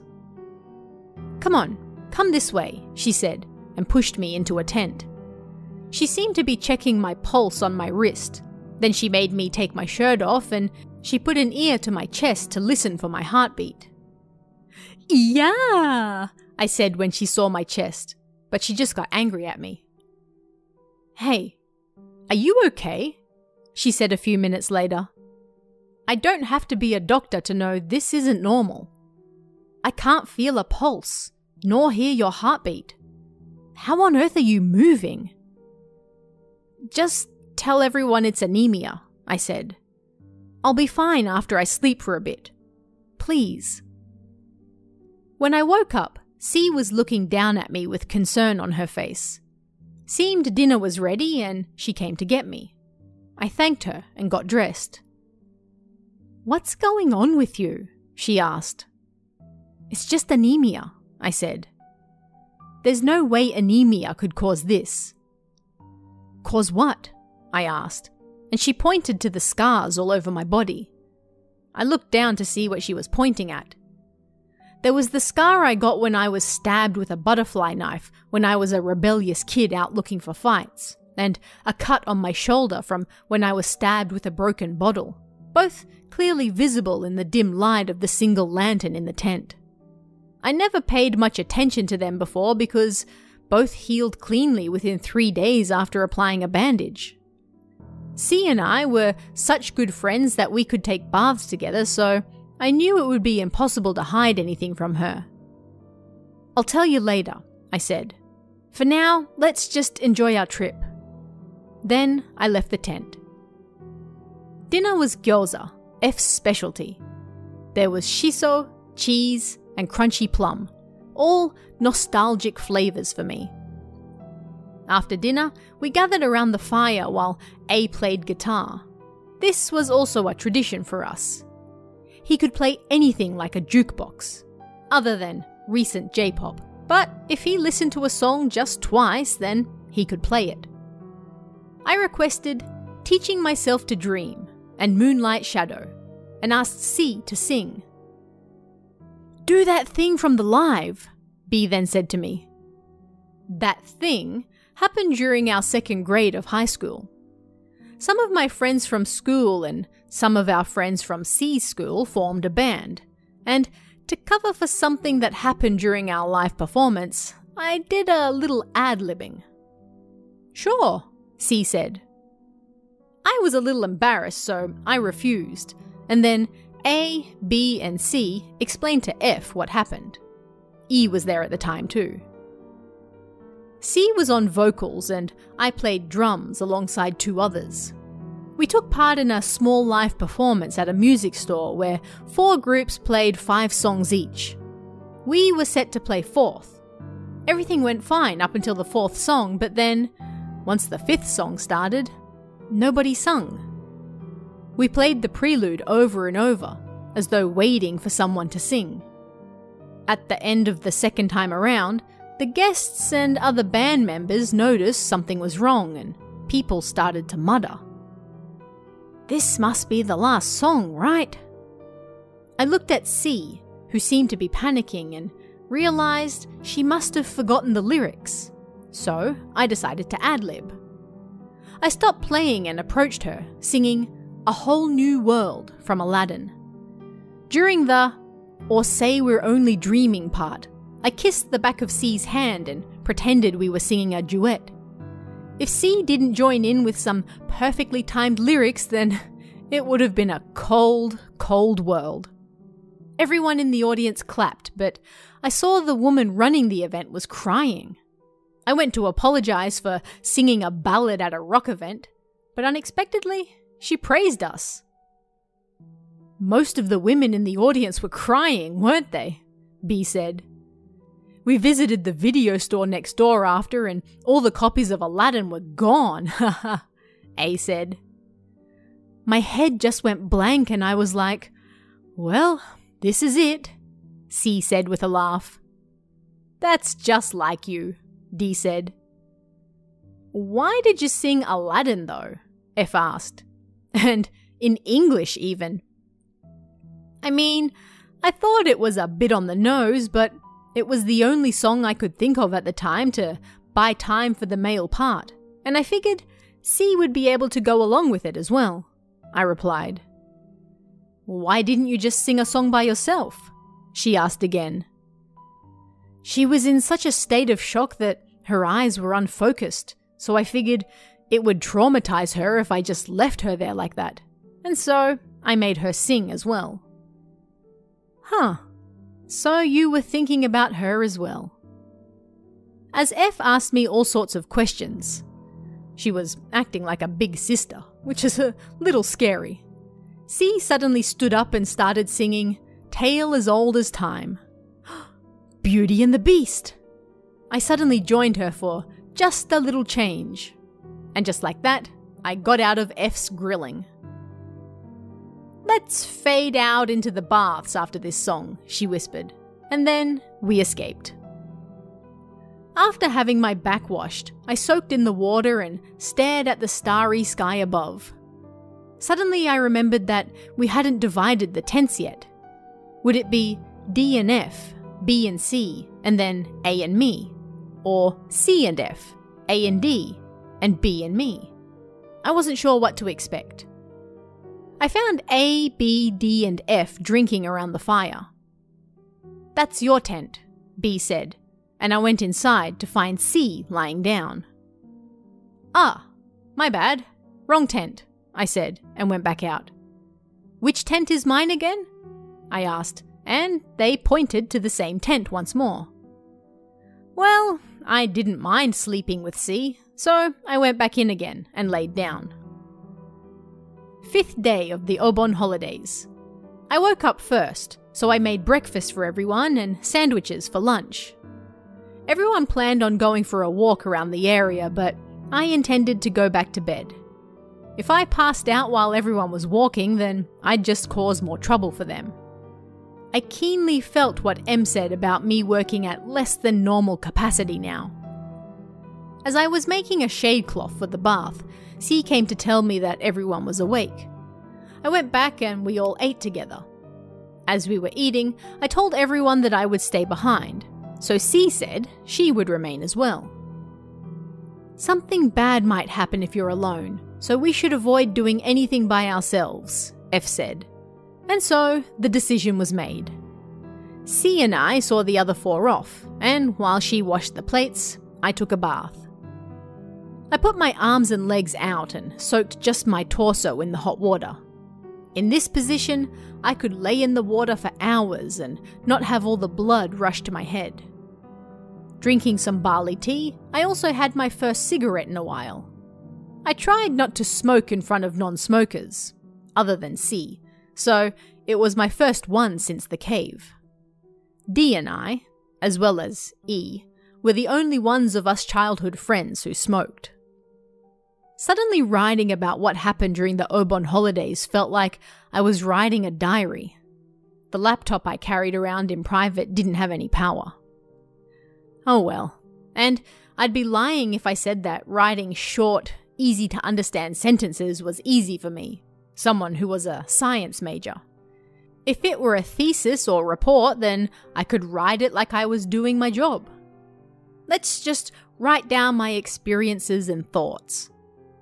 Thinking that everything I wrote was crap, C suddenly arrived as I was putting down what I thought was the best part. She brought a fan and some barley tea, then sat next to me and wiped the sweat from my forehead as she fanned me. She was great at cooking and incredibly thoughtful. She would make a great wife, I thought, and I wondered if she had any suitors. She was both beautiful and stylish. Wait, if she got married to someone we didn't know, then I'd no longer be able to hang out with her like now. Maybe B really was the right guy for her then. You said yesterday that we'd talk later, right? She said, interrupting my thoughts. So, she remembered. Well, it was only the day before, I guess. Time to just spit it out, right? I thought about what I should tell her and what I should keep to myself. Let me start by saying that I can't see them, so I don't know whether this is actually true or not, I said. I then told her about what M said the day before last regarding my guardian spirit's weakening and how she warned me to take care of my health. In truth, I felt great, but I couldn't seem to stay awake for very long, and I couldn't focus on releasing the energy in my lower abdomen. If you do martial arts, then you'll probably understand what I mean. I should add that once the holidays ended, I planned on having a full body checkup at the doctor. Horseflies soon started to bother me, so I got out of the bath and had an early lunch. I wanted to go back to the tent and use C's legs as a pillow, but she was wearing jeans. Mmm, no thanks, I said, and as I went to blow up a cushion, she changed into hot pants. The height of her legs was just perfect for a pillow. How did you know? I said. We've been friends forever, she replied. I tend to know what you're thinking at all times. We really did have the worst relationship. It's been a long time since I fell asleep like this, I thought, and closed my eyes. Sing something for me, I said. you think you're a king or something? She replied. You're so nice, I said. And thoughtful. Back when we were in elementary school, you were bigger than me and rougher than all us dudes. She punched me. But you really have changed. Almost like you changed genders. I've always been a girl, she said, and punched me again. Do you want to take this outside? You're the one who hit me first, I said with a laugh. I got to thinking while I was in the bath. We're old enough now to be getting married and having kids. How much longer are we all going to be able to gather like this? S got married and moved far away, right? And now she has three kids. K left home to go to a university and then got married to a beautiful woman. I also left home for university and then got a job. The number of classmates I'm still close with is getting less and less. Even A, B, D, and E, we were all the same age, but next thing I knew, we were starting to drift apart and do our own things. You've always been there for me, and when I think about how you might not always be there, it makes me sad. Wait, who's going to disappear? C said. You're the one who left first. We were all studying hard for exams, and you were like, I have a recommendation to university. And a scholarship, too. I don't have to pay any fees either. Try to think about how we were feeling. I mean, you did try teaching us, but I couldn't understand what you were saying as I ate rice crackers. Ah, when I used the bonnet of E's car as a whiteboard. Well, thanks to that, everyone got into the university of their choice, didn't they? You were a D student before that, weren't you? During November of our final year, I was like, what the hell? when you said our next lecture was going to be on meditation. well, it's important. You need to visualize how you're going to achieve success and visualize yourself performing to the best of your abilities. You were able to solve problems you couldn't do before that way, weren't you? You can get there yourself without having to memorize formulas and such once you know how it all works. For the past few days, I haven't been able to visualize myself as a high performer. Before, I could see sparks flying when I meditated, and then I'd get results I was happy with. But now, it's like my head is blank and my body won't move. So my thoughts got a little negative, and I got sad thinking that one day you'll get married and move away. And who exactly am I going to marry? I don't think that's possible for me. I wouldn't say that around the second grade of high school or so. Honestly, I don't want to admit it, but you started to look real cute then. And now that you've gotten older, you're more beautiful. You're a hard worker, good at housework, you're kind and thoughtful, bright and fun, you're good at singing and the piano as well. You tick all the boxes. You should have more confidence in yourself. You can get married whenever you want. You have my seal of approval, so be grateful. My eyes were closed, but I could feel tears falling on my face. Is there someone you like? I asked. There is. Do you think it will go well? No matter what I do, he never looks at me that way, so I thought I'd give up, but maybe I'll try a little harder now. I felt bad for her. There were no other women in the world quite like her. You can do it. Just like Anzai sensei says, if you give up, then it's over right then and there. How long have your feelings been one sided? Since third grade. Wow, that was a long time. I felt a little bad for the other person, too. It was almost like a curse. And are they with us on this camp? Yes. All right. I wouldn't lose any friends this way. What started it all? Or rather, is there a reason why you've never said anything all this time? He always helps me out. Always. When I couldn't talk to anyone and felt like everything was falling apart, suddenly he called me. He never called me out of the blue, and when I asked why he called, he said, just because. And when I'm in trouble, he shows up out of nowhere and helps me. What a nice guy.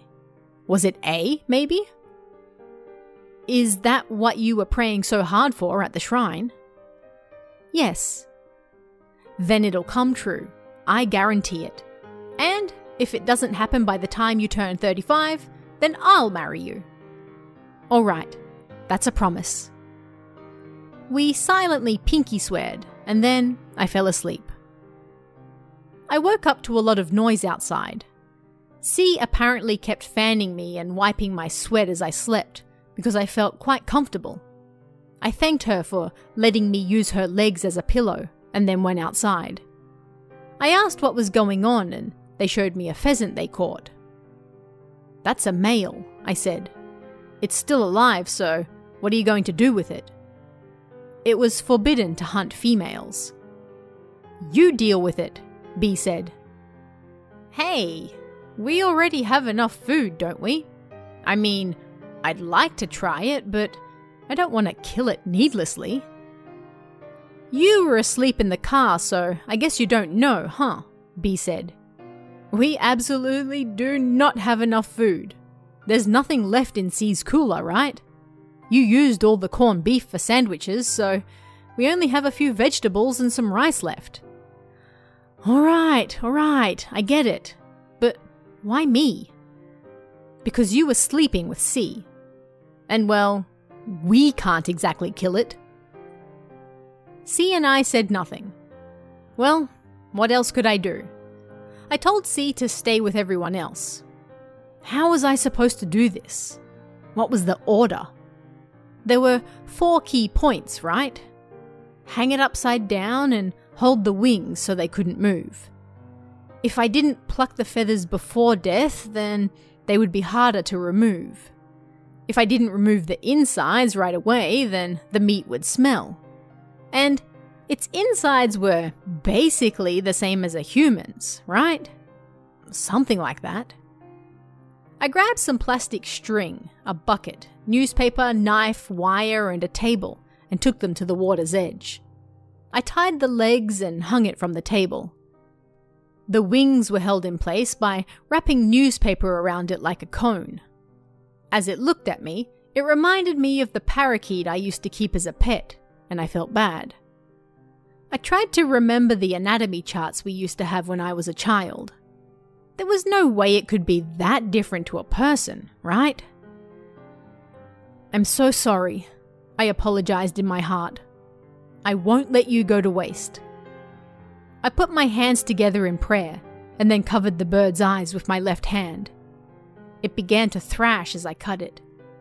I suddenly remembered that humans could live for up to three minutes after having their carotid artery cut, so I apologized again and quickly finished the job.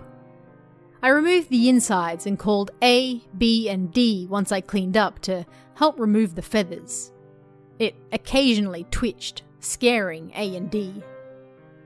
We cleaned everything up and it started to get dark, so we returned to camp.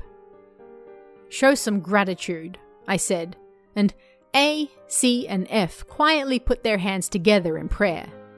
D was off using the toilet. Hey, great job, B said.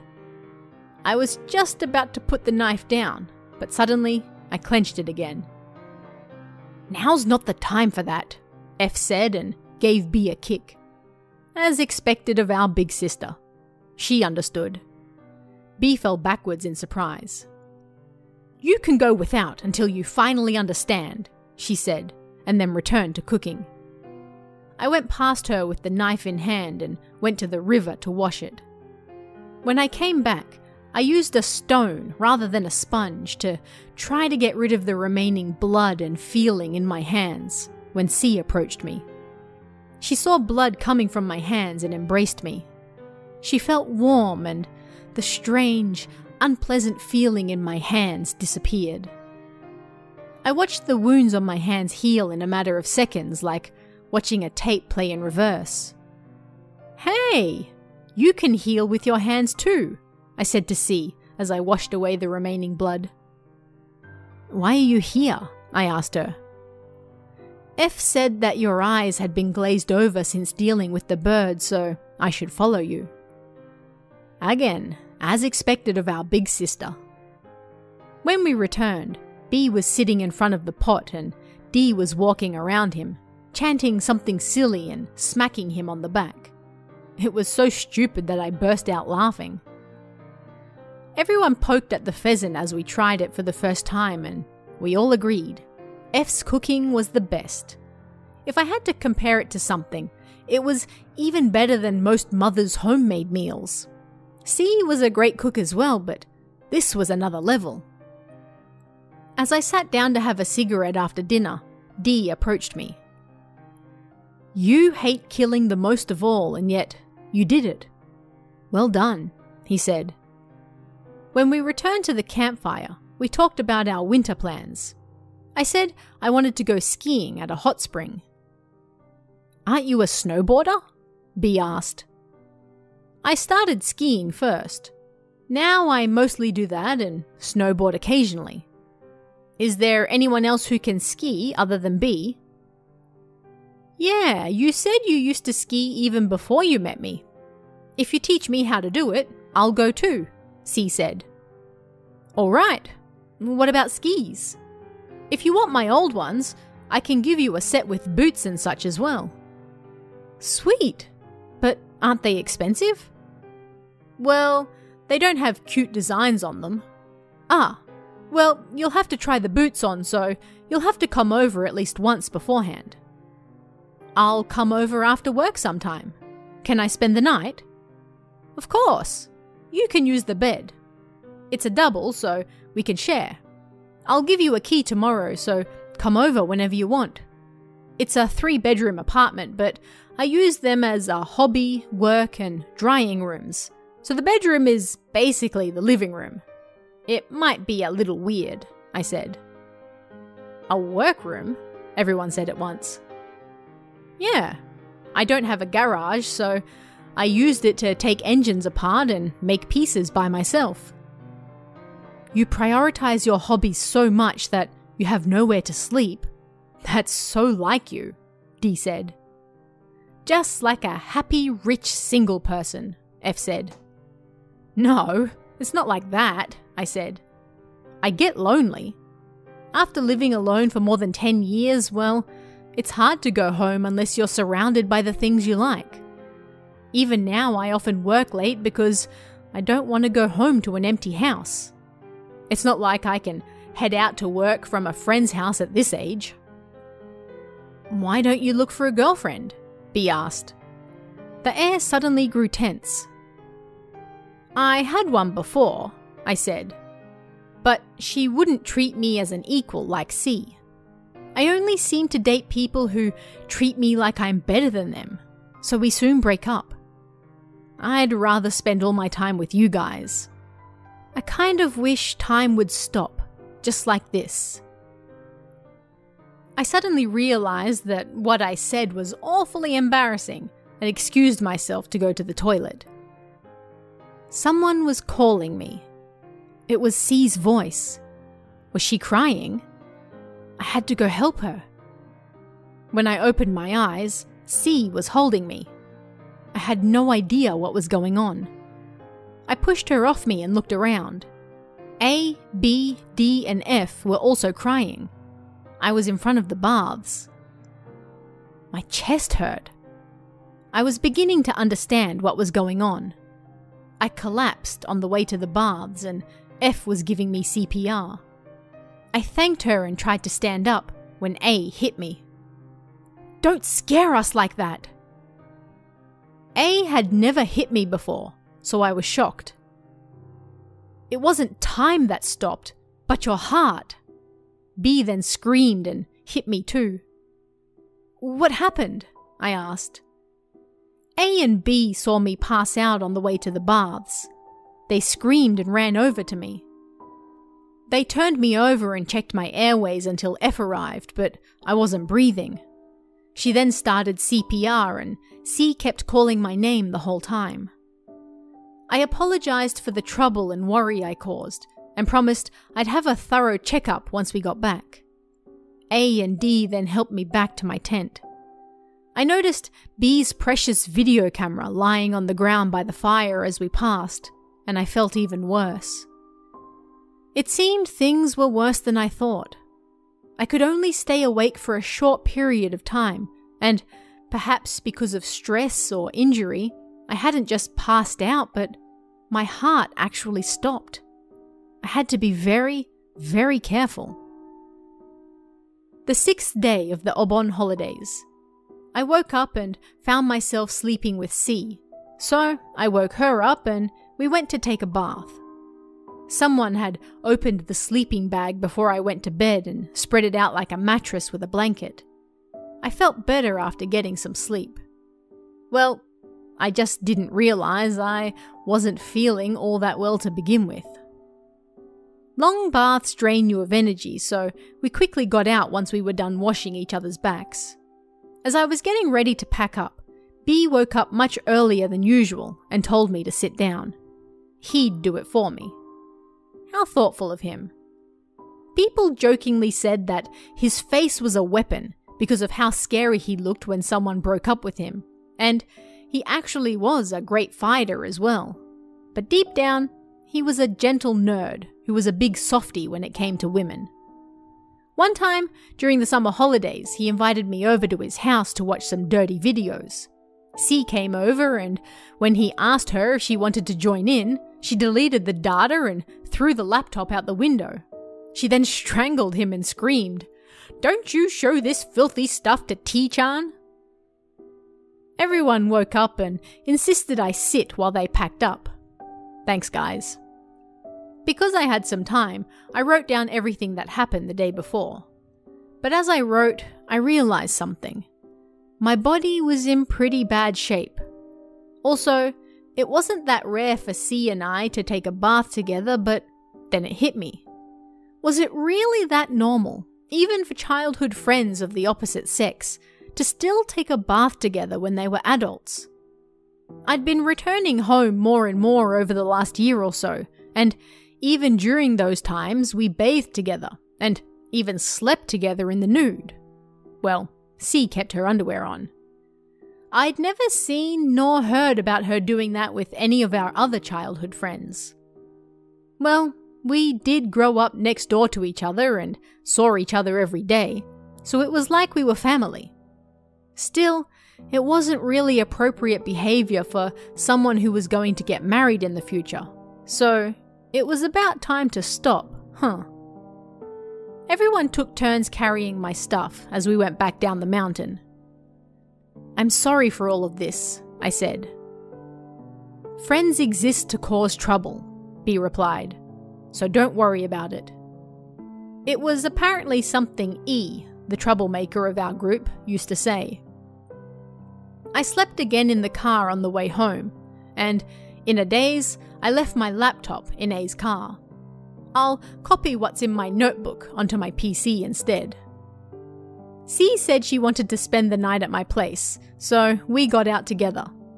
I gave her the duplicate key for my apartment that my parents had, and once I was done organising transportation of my car and plane tickets, I laid on a cushion in the living room and fell asleep.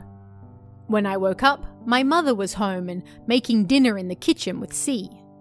C had learnt to cook from my mother a long time ago, so it was a familiar sight.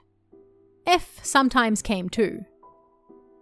The root vegetables for the soup were frozen overnight so they'd be sweeter, and the meals my mother made were so good they were like that of a proper restaurant. So much so that when I had something else, it tasted terrible, like an instant meal. My mother always prepared three side dishes for breakfast and five for dinner. She was very good at what she did. The dishes were laid out naturally, like parent and child. It seemed the laundry that had built up during the holidays was also done and out to dry. I prepared a bed for C in the guest room and then returned to the living room. My father and older brother were there, and the scene was somewhat familiar. But it was like I was the outsider here. After dinner, C did the dishes, and I told my parents that I gave her the duplicate key for my apartment. I returned to my room and saw that not only had she cleaned my bed and vacuumed the floor, but that the dust on all the bookshelves had been wiped off as well. She was, quite simply, too fast. A pro. If only A or B would quickly snatch her up, that would be one less worry on my mind. The seventh day of the Obon holidays. When I woke up, all my stuff was packed and ready to go. It seemed C got up early and even ironed my clothes. I got the used masks out of my car and put them into the transport car. On the way to the airport, I handed them and the sealed case to a former classmate who was a researcher at university. I asked him to examine the masks and case to see if there was any strange bacteria or something attached. He wasn't exactly a blabbermouth, but I asked him to keep quiet about it because it could be dangerous. Then slipped him 300,000 yen. Since I was seated opposite the cabin attendant on the flight, I decided to ask them some questions about the plane. One of them handed me a card with a phone number on it, remarking on how I seem to like planes so much. But I was just trying to kill time, and there was no way I could bother them in their private time. Once I got home, I charged the batteries on my bikes, called C and my parents, and then went straight to bed. End of August. I stayed overnight at the hospital for a full checkup. End of September. The results from the hospital were great. They said that counselling could help with the long hours of sleep, but because I destroyed the sarcophagus without contacting the research institute, as I should have, I couldn't say anything about the cave. And supposing that E's death had something to do with how I felt, then the symptoms should have shown up much sooner. If there was anything new on that mask I asked my classmate to check, then I hoped they would figure it out soon. I sent an email to C and B, showing them the test results were good. I didn't want to worry C, who was usually so innocent and yet steadfast, like a sunflower. She was the type who dwelled on things, so I hoped that she had somebody nearby who would look after her. I felt like A or B said they'd look after her at the camp, so I was probably worrying over nothing. Start of October. I got a call from the friend I asked to look at the mask and case. After doing a culture test, all he found was regular airborne bacteria. There was no dust or anything else noteworthy. The truth behind the red haze E saw, as well as the voices, remained unknown. But there was still so much we didn't know about this whole case, like the disappearing fragments of the sarcophagus. As soon as I feel better, I'll go back to that cave again with some guys in the archaeology course. I still know where it is, and if it poses a threat or something happens to me, I'll delete all data except for the diary that doesn't specify its location so that no one can visit it.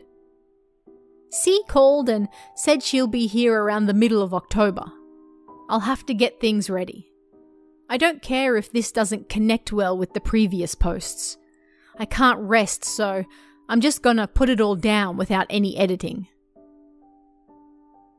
And that was the end of what T wrote. Two days later, he passed out and was taken to the hospital.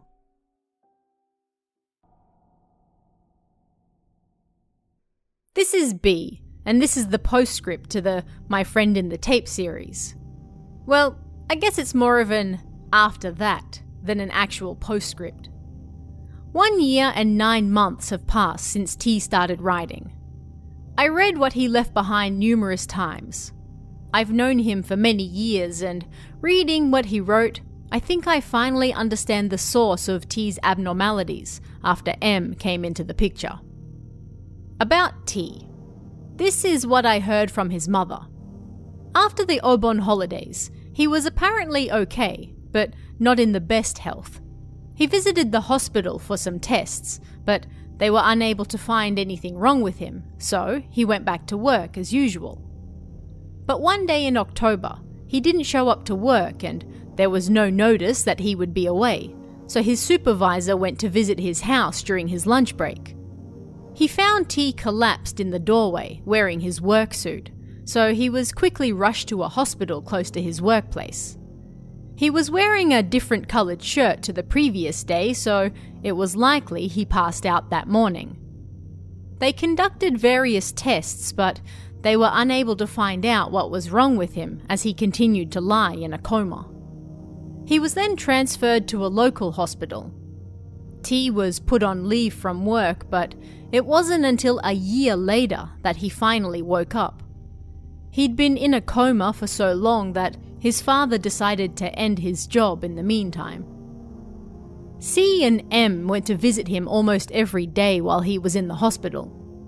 M's mother also went to see him numerous times as well. But perhaps what was most confusing for him was waking up with almost no memories and having people like M, C, and some young nurses and the like tell him that they were his girlfriend and they were engaged to be married. He was terribly confused, and while his mother said she appreciated the fact that they all liked her son, lying to him wasn't a good idea. I heard all this when we went to the hospital to cover his bills. Apparently, he had tens of millions of yen in stocks and savings, as well as other insurance policies with his mother as a beneficiary, so he had more than enough to cover things by himself. The following information now comes from me personally.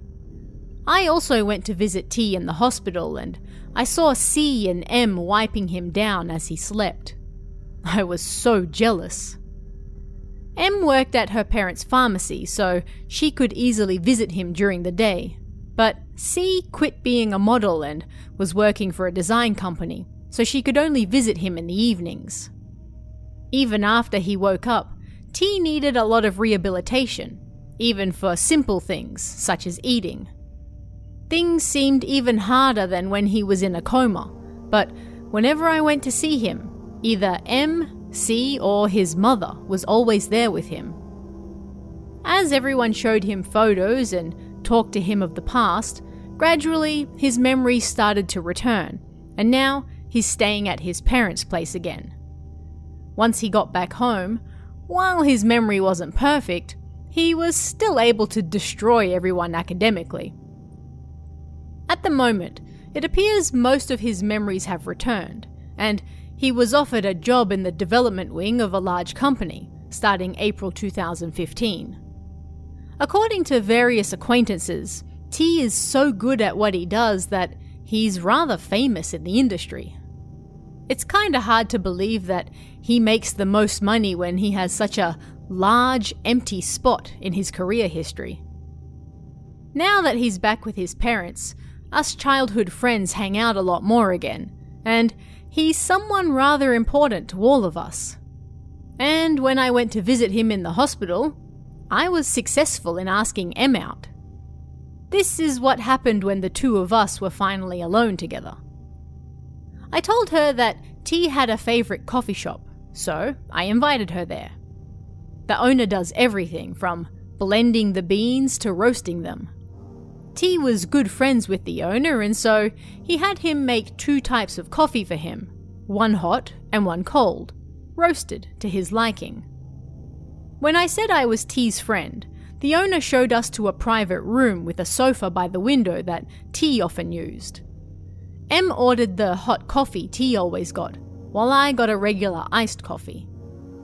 We spoke with the incredibly fast laptop that T always used open in front of us. It was the laptop he left behind in A's car after the camp. I called him to let him know that he forgot it, but he said to keep it for the time being. Feel free to use it until I get it back. It's stupidly fast, so it's good to pass the time. It'll burn your legs though, he said. At a glance, it looked like a Fujitsu, but inside was an NSD, an i70X, a motherboard I'd never heard of, 16 gigabytes of memory on the OS, and a battery with cell density double the normal one. Using the internet, I told M some of the history of T's family. His family history could be easily traced even on the internet with just his surname and family crest. If I write too much, then he'll be easily identifiable. So let's just say about a thousand years ago, they went from an imperial family to commoners.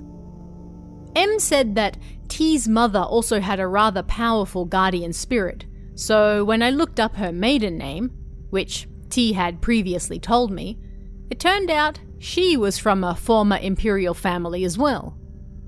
When we were students and I was in the car with T one day, he said he wanted to drop something off because we were near his mother's family home. We stopped at the gate, but it was a massive place, and I remember there was a row of storehouses behind the main house. They've got storehouses, huh? I said. And he said it was because the family used to be merchants in the past. His mother was always kind and thoughtful, but I suddenly understood why she seemed to be rather high class as well.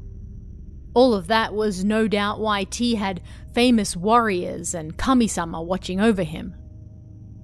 Next, I opened a hidden folder, put T's name in as the password, and showed M the first three parts of My Friend in the Tape.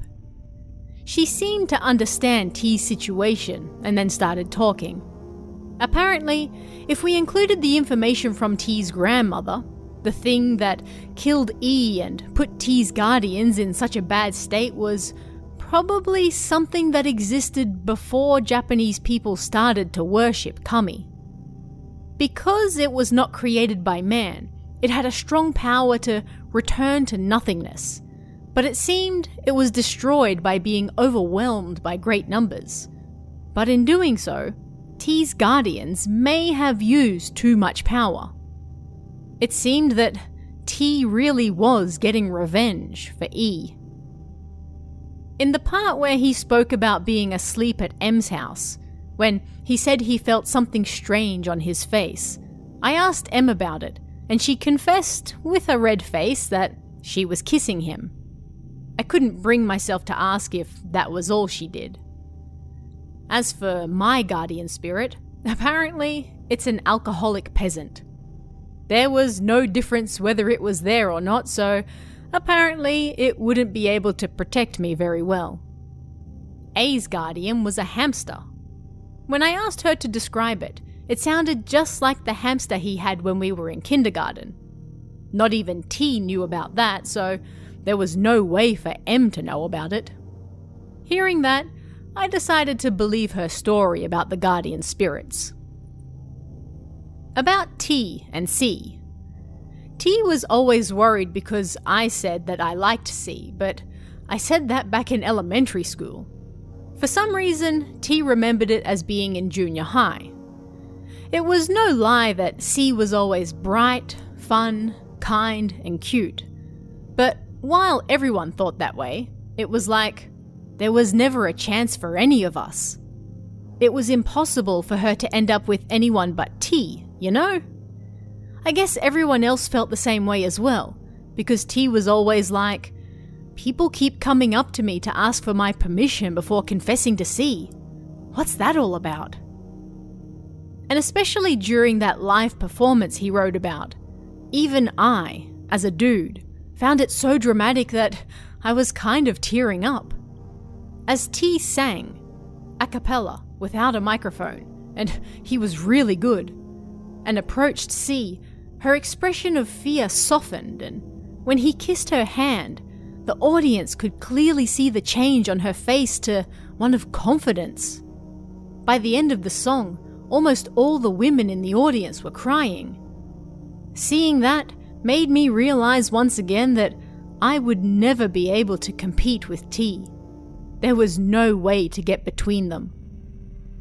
Back in junior high, there was a time where C and some other girls were peeling mandarins and edamame for him. At first, I thought he was making them do it, but the girls took it upon themselves when he said, Oh, these are tasty, but peeling the skin is such a hassle, so it's fine. I don't need any. T was seemingly oblivious to what would normally be taken as a sign of affection by anyone else, and he passed it off as women just being kind. And so, despite how close they were, unfortunately, T really did only think of C as nothing more than a close friend. T and C's families have secretly been arranging their marriage before T's memories fully return. The invites have already arrived. When I told C that I got my invite, she screamed, I did it! So, it was her behind it all. When I asked her about it, she said she recorded the conversation they had in the tent on her phone. I'll marry you once you turn 35, if no one else has. However, she cut parts out and kept only the I'll marry you part and played it for his parents. But neither C nor T are 35 yet. That's very different to the promise they made. When I told her that, she said excitedly, It makes no difference if we wait the result will be the same. It's fate. She felt that he was missing out on one of life's biggest milestones marriage.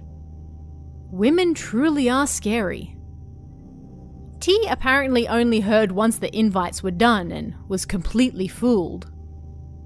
I don't remember it, but apparently I made a promise before I passed out, so I'll follow through with it. I can't embarrass C like that he said before going to buy an engagement ring for her. I tagged along as chauffeur the weekend I got the invite. He bought a ring worth 4 million yen retail for 3 million yen, with the idea that it could be sold for living expenses should anything ever happen. What a conscientious guy. He specified all the details for it, including the weight, colour, transparency, and such for the 10 diamonds to be cut for it. It was the first time I realized that the price of the ring and the stones are different, and I was surprised to learn that the shape and height could be changed to match the stones as well.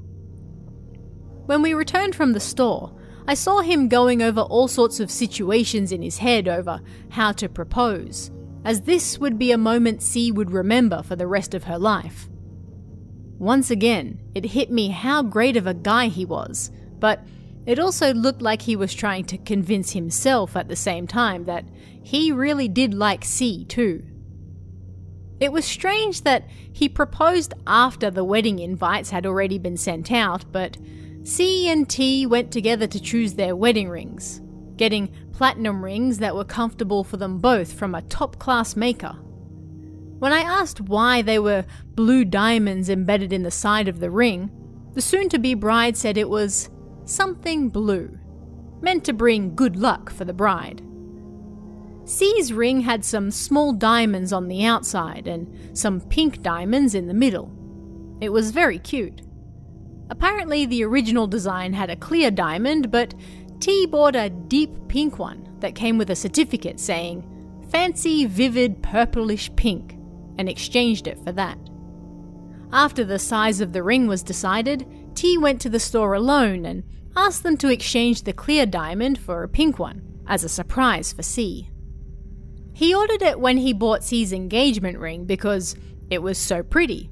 He thought it suited C, and he liked the meaning behind it. I didn't even know precious stones had a meaning to them. T said it wasn't a big deal, but when I asked him more about pink diamonds, he said that they were the most beautiful part, cut from larger stones, and I was shocked to hear that one single stone was more expensive than my entire bonus. When I asked him if they had slept together yet, he shook his head. Eh? With C? I've never even thought about it. There's no way. There's no denying that she's a great girl, but I don't think I ever could. But I guess I liked her enough to agree to marriage. But there's something different. We're more like brother and sister. Guess I'll have to deal with that, huh? After everything he went through, all he could say was, I guess I liked her. Well, there you go. When I asked him why he spent more than my annual bonus on a ring for someone he didn't even want to sleep with, he said, Normally I'd split the price, but I figured I could at least make her happy with a present. Her smile brightens up the place, and that makes me happy. You gotta spend money to make money. There's no point in saving it at the end of the day. It's just paper. It can be a problem if you have too much, but not so much if you have too little. As long as I have enough to live, I'm perfectly happy. Apparently, it wasn't something he was buying in response to C's feelings, but rather simply something to make his friend happy. He chose it so it would overall enhance her image, but not outshine her. Yet his comment about money didn't convince me, so I pressed him on it. According to T, as long as we took care of our relationships with others, then things would work out, even if you didn't have money. If your stomach is full, then your heart will never be poor. But if you have too much money, that'll attract bad people, and thus fake friendships, making the risk of losing what's important to you all that much higher. He didn't want to take any risks if it meant losing us, his childhood friends. Not enough is just enough, he said with a laugh. C said that T was inspired by Kuroyanagi Tetsuko and sent 1% of his income and dividends to help feed people in poor countries. Even when he looked at a photo of E, he had no memories of him. Who is that? I don't know him, but he feels like someone important, he said. Even when speaking of past stories, he would say stuff like, There was someone other than A, B, C, D, and F, right? Someone very important. Seeing him suffer like that, I couldn't hold back the tears and excused myself to the bathroom. About M. She often talks about T, and ever since he returned to his parents' house, She's often seen there too. T never locks the door when he's there, so she enters without permission. He said that he doesn't want to lock his friends out. And T's cat, who is very cautious with strangers, entirely ignores her, which shows just how much she's been there. She always watches over him lovingly as he sleeps. He still sleeps a lot. When he's awake, he's mostly doing rehabilitation or study. When I asked her why she visits him so much when he spends two thirds of the day sleeping, apparently he would pat her head when he wakes up and say, M-chan, good morning. He would refuse if she tried it the other way, though. C told me that if you put a hand on his arm or chest or anywhere really, then his expression would soften as he slept. It didn't matter who it was. Even I was okay. M told me she had liked T ever since they first laid eyes each other in April of the third grade of junior high.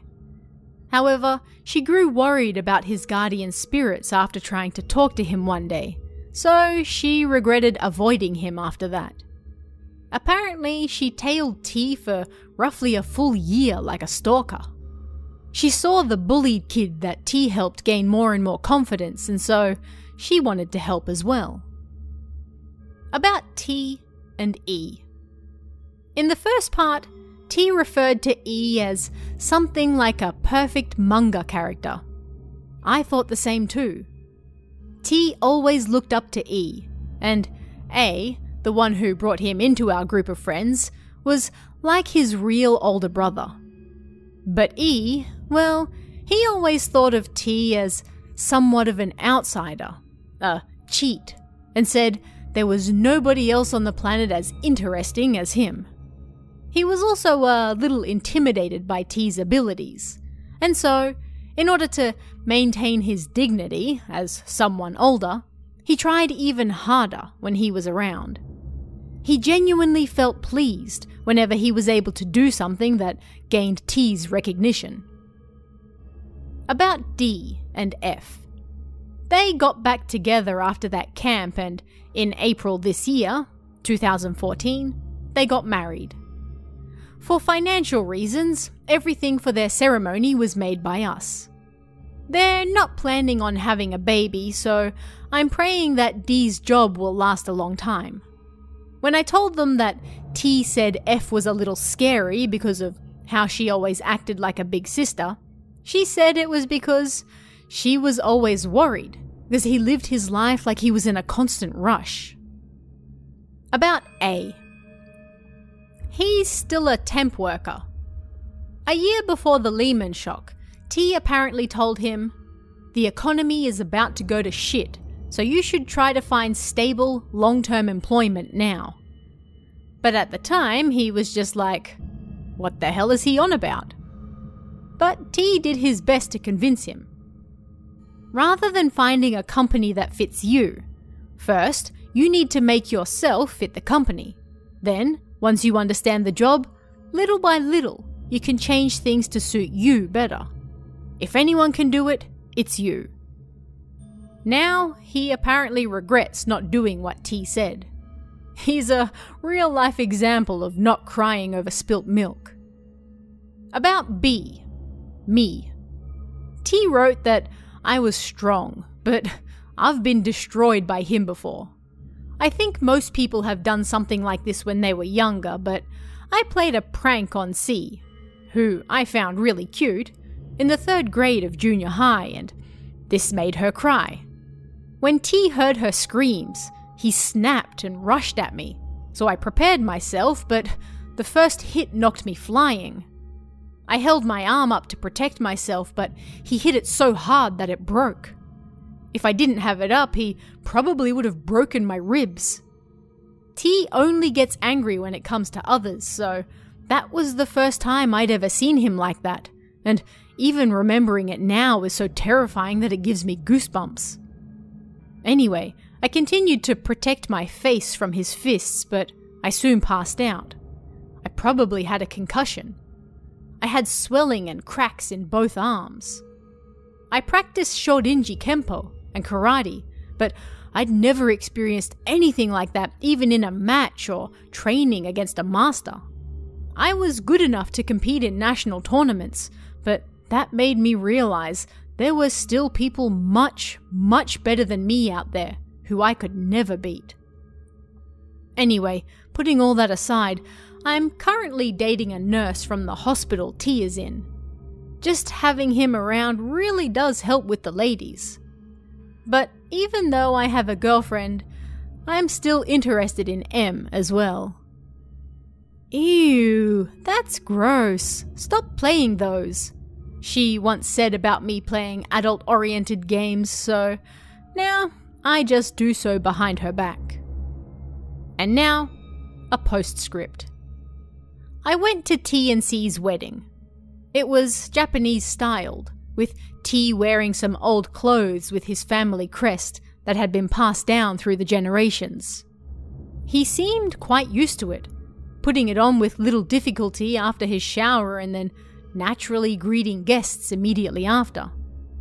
I told him that if his face was a little bigger, then it would suit him much better.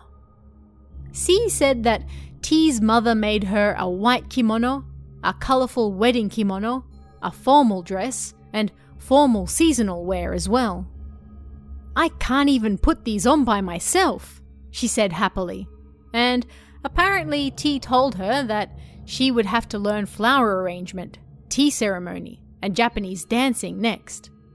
That way, she could learn how to dress in them and how to behave as well. All the women in his family wore formal Japanese wear that they knew how to put on themselves without help. I was convinced the colour and design were made to make C stand out as the most beautiful person at the venue. She was so beautiful, I fell in love with her all over again. Seeing her in that white kimono made my heart jump, T said with a laugh. Seeing everyone else fawn over her honestly made me jealous. Finally, I have a daughter, T's mother said, overjoyed. She's so beautiful. We decided back when she was in elementary school that C would marry T, C's parents said, so happy they were in tears. Finally, that day has come. I almost fell for T myself as he led the trembling C to the altar in front of the gods in such a gentlemanly manner.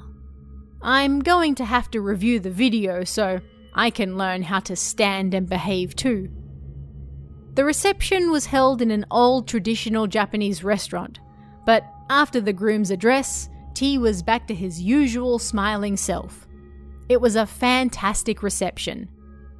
T got his bike license at 16, so he never drank at events like this, saying he would regret it too much if he ever had an accident and was unable to move again. But on this day, he drank to his heart's content. Everyone kept pouring drinks for him, which he downed right away. Are you okay? I asked him, but he seemed to very much be enjoying himself. These are celebratory drinks, so as long as everyone is smiling and happy, I'm perfectly fine, he said. C struggled with the formal clothes she wasn't used to, and her wig was so heavy that she couldn't look down to get any food or drink. She was able to rehydrate, however, with the special fruits and such they had prepared for her. T blushed when he looked at her face for a moment, and then picked from amongst the fruit. Each time he fed it to her, he was apparently right on the mark as to which one she wanted, because she said, Bingo! I wondered whether he really did pick the correct one each time, and C said that he'd always been able to choose correctly, even without her saying anything. T said he could do the same even when they were far apart. I couldn't help but believe that the red string of fate really was real. M, who had been looking after T for so long, was also invited to the wedding. She seemed almost drunk with happiness C-chan, you're so beautiful. T-kun, you look so handsome. I wonder what approach she'll take towards them in the future. For their honeymoon, they plan to go to Hawaii with their parents, then go to Germany alone and rent a car, before travelling to Turkey, Greece, Italy, and Spain. They plan to only stay in hotels they really wanted to, and other than that, whatever happens, happens. They even planned to sleep in the car if needs be. That was probably because of T. It sounded like it would be a tough trip, but probably fun too. When they got back from their trip, they brought me a souvenir. I was impressed by the power of jewellery. Seeing C with her wedding ring made everything seem more real, and she seemed to shine more brightly than ever. I asked her to take her ring off to see whether it was her or the ring that was truly shining, but her presence felt totally different once she took the ring off. That pink diamond really does make the owner shine more brightly. T said that the pink diamond wasn't something designed to show off someone's power, but rather a mere tool to maximize the attractiveness of the person wearing it. The light, apparently determined by the cut and claws. The size and ring colour all had to match the bearer of the ring. Otherwise, it wouldn't work, and the person would look wrong. These days, store clerks had more business sense than any other sense, like they couldn't see the forest for the trees. So, when women spoke to staff, they would fall into a habit of simply picking the cutest ring rather than the one that fit them personally. Nice, isn't it? C said with a smile. I put a spell on it to make C a better woman, T said, and she turned red in an instant. They seemed to be getting more and more friendly, or perhaps things were heating up, because while T was his usual self, C was touching him more and more and acting like a wife around him. Well, she had finally gotten her first love after 20 years of waiting, so yeah, no doubt she was happy. As I looked at photos from their trip and they told me various stories, T said something that caught my attention. For some reason, my coins are eroding really fast. And maybe I'm just tired from the trip, but every now and then I can see a red mist on the edge of my vision. Maybe it's because of the pressure on the plane, C suggested. At any rate, you should visit the doctor and get some tests done.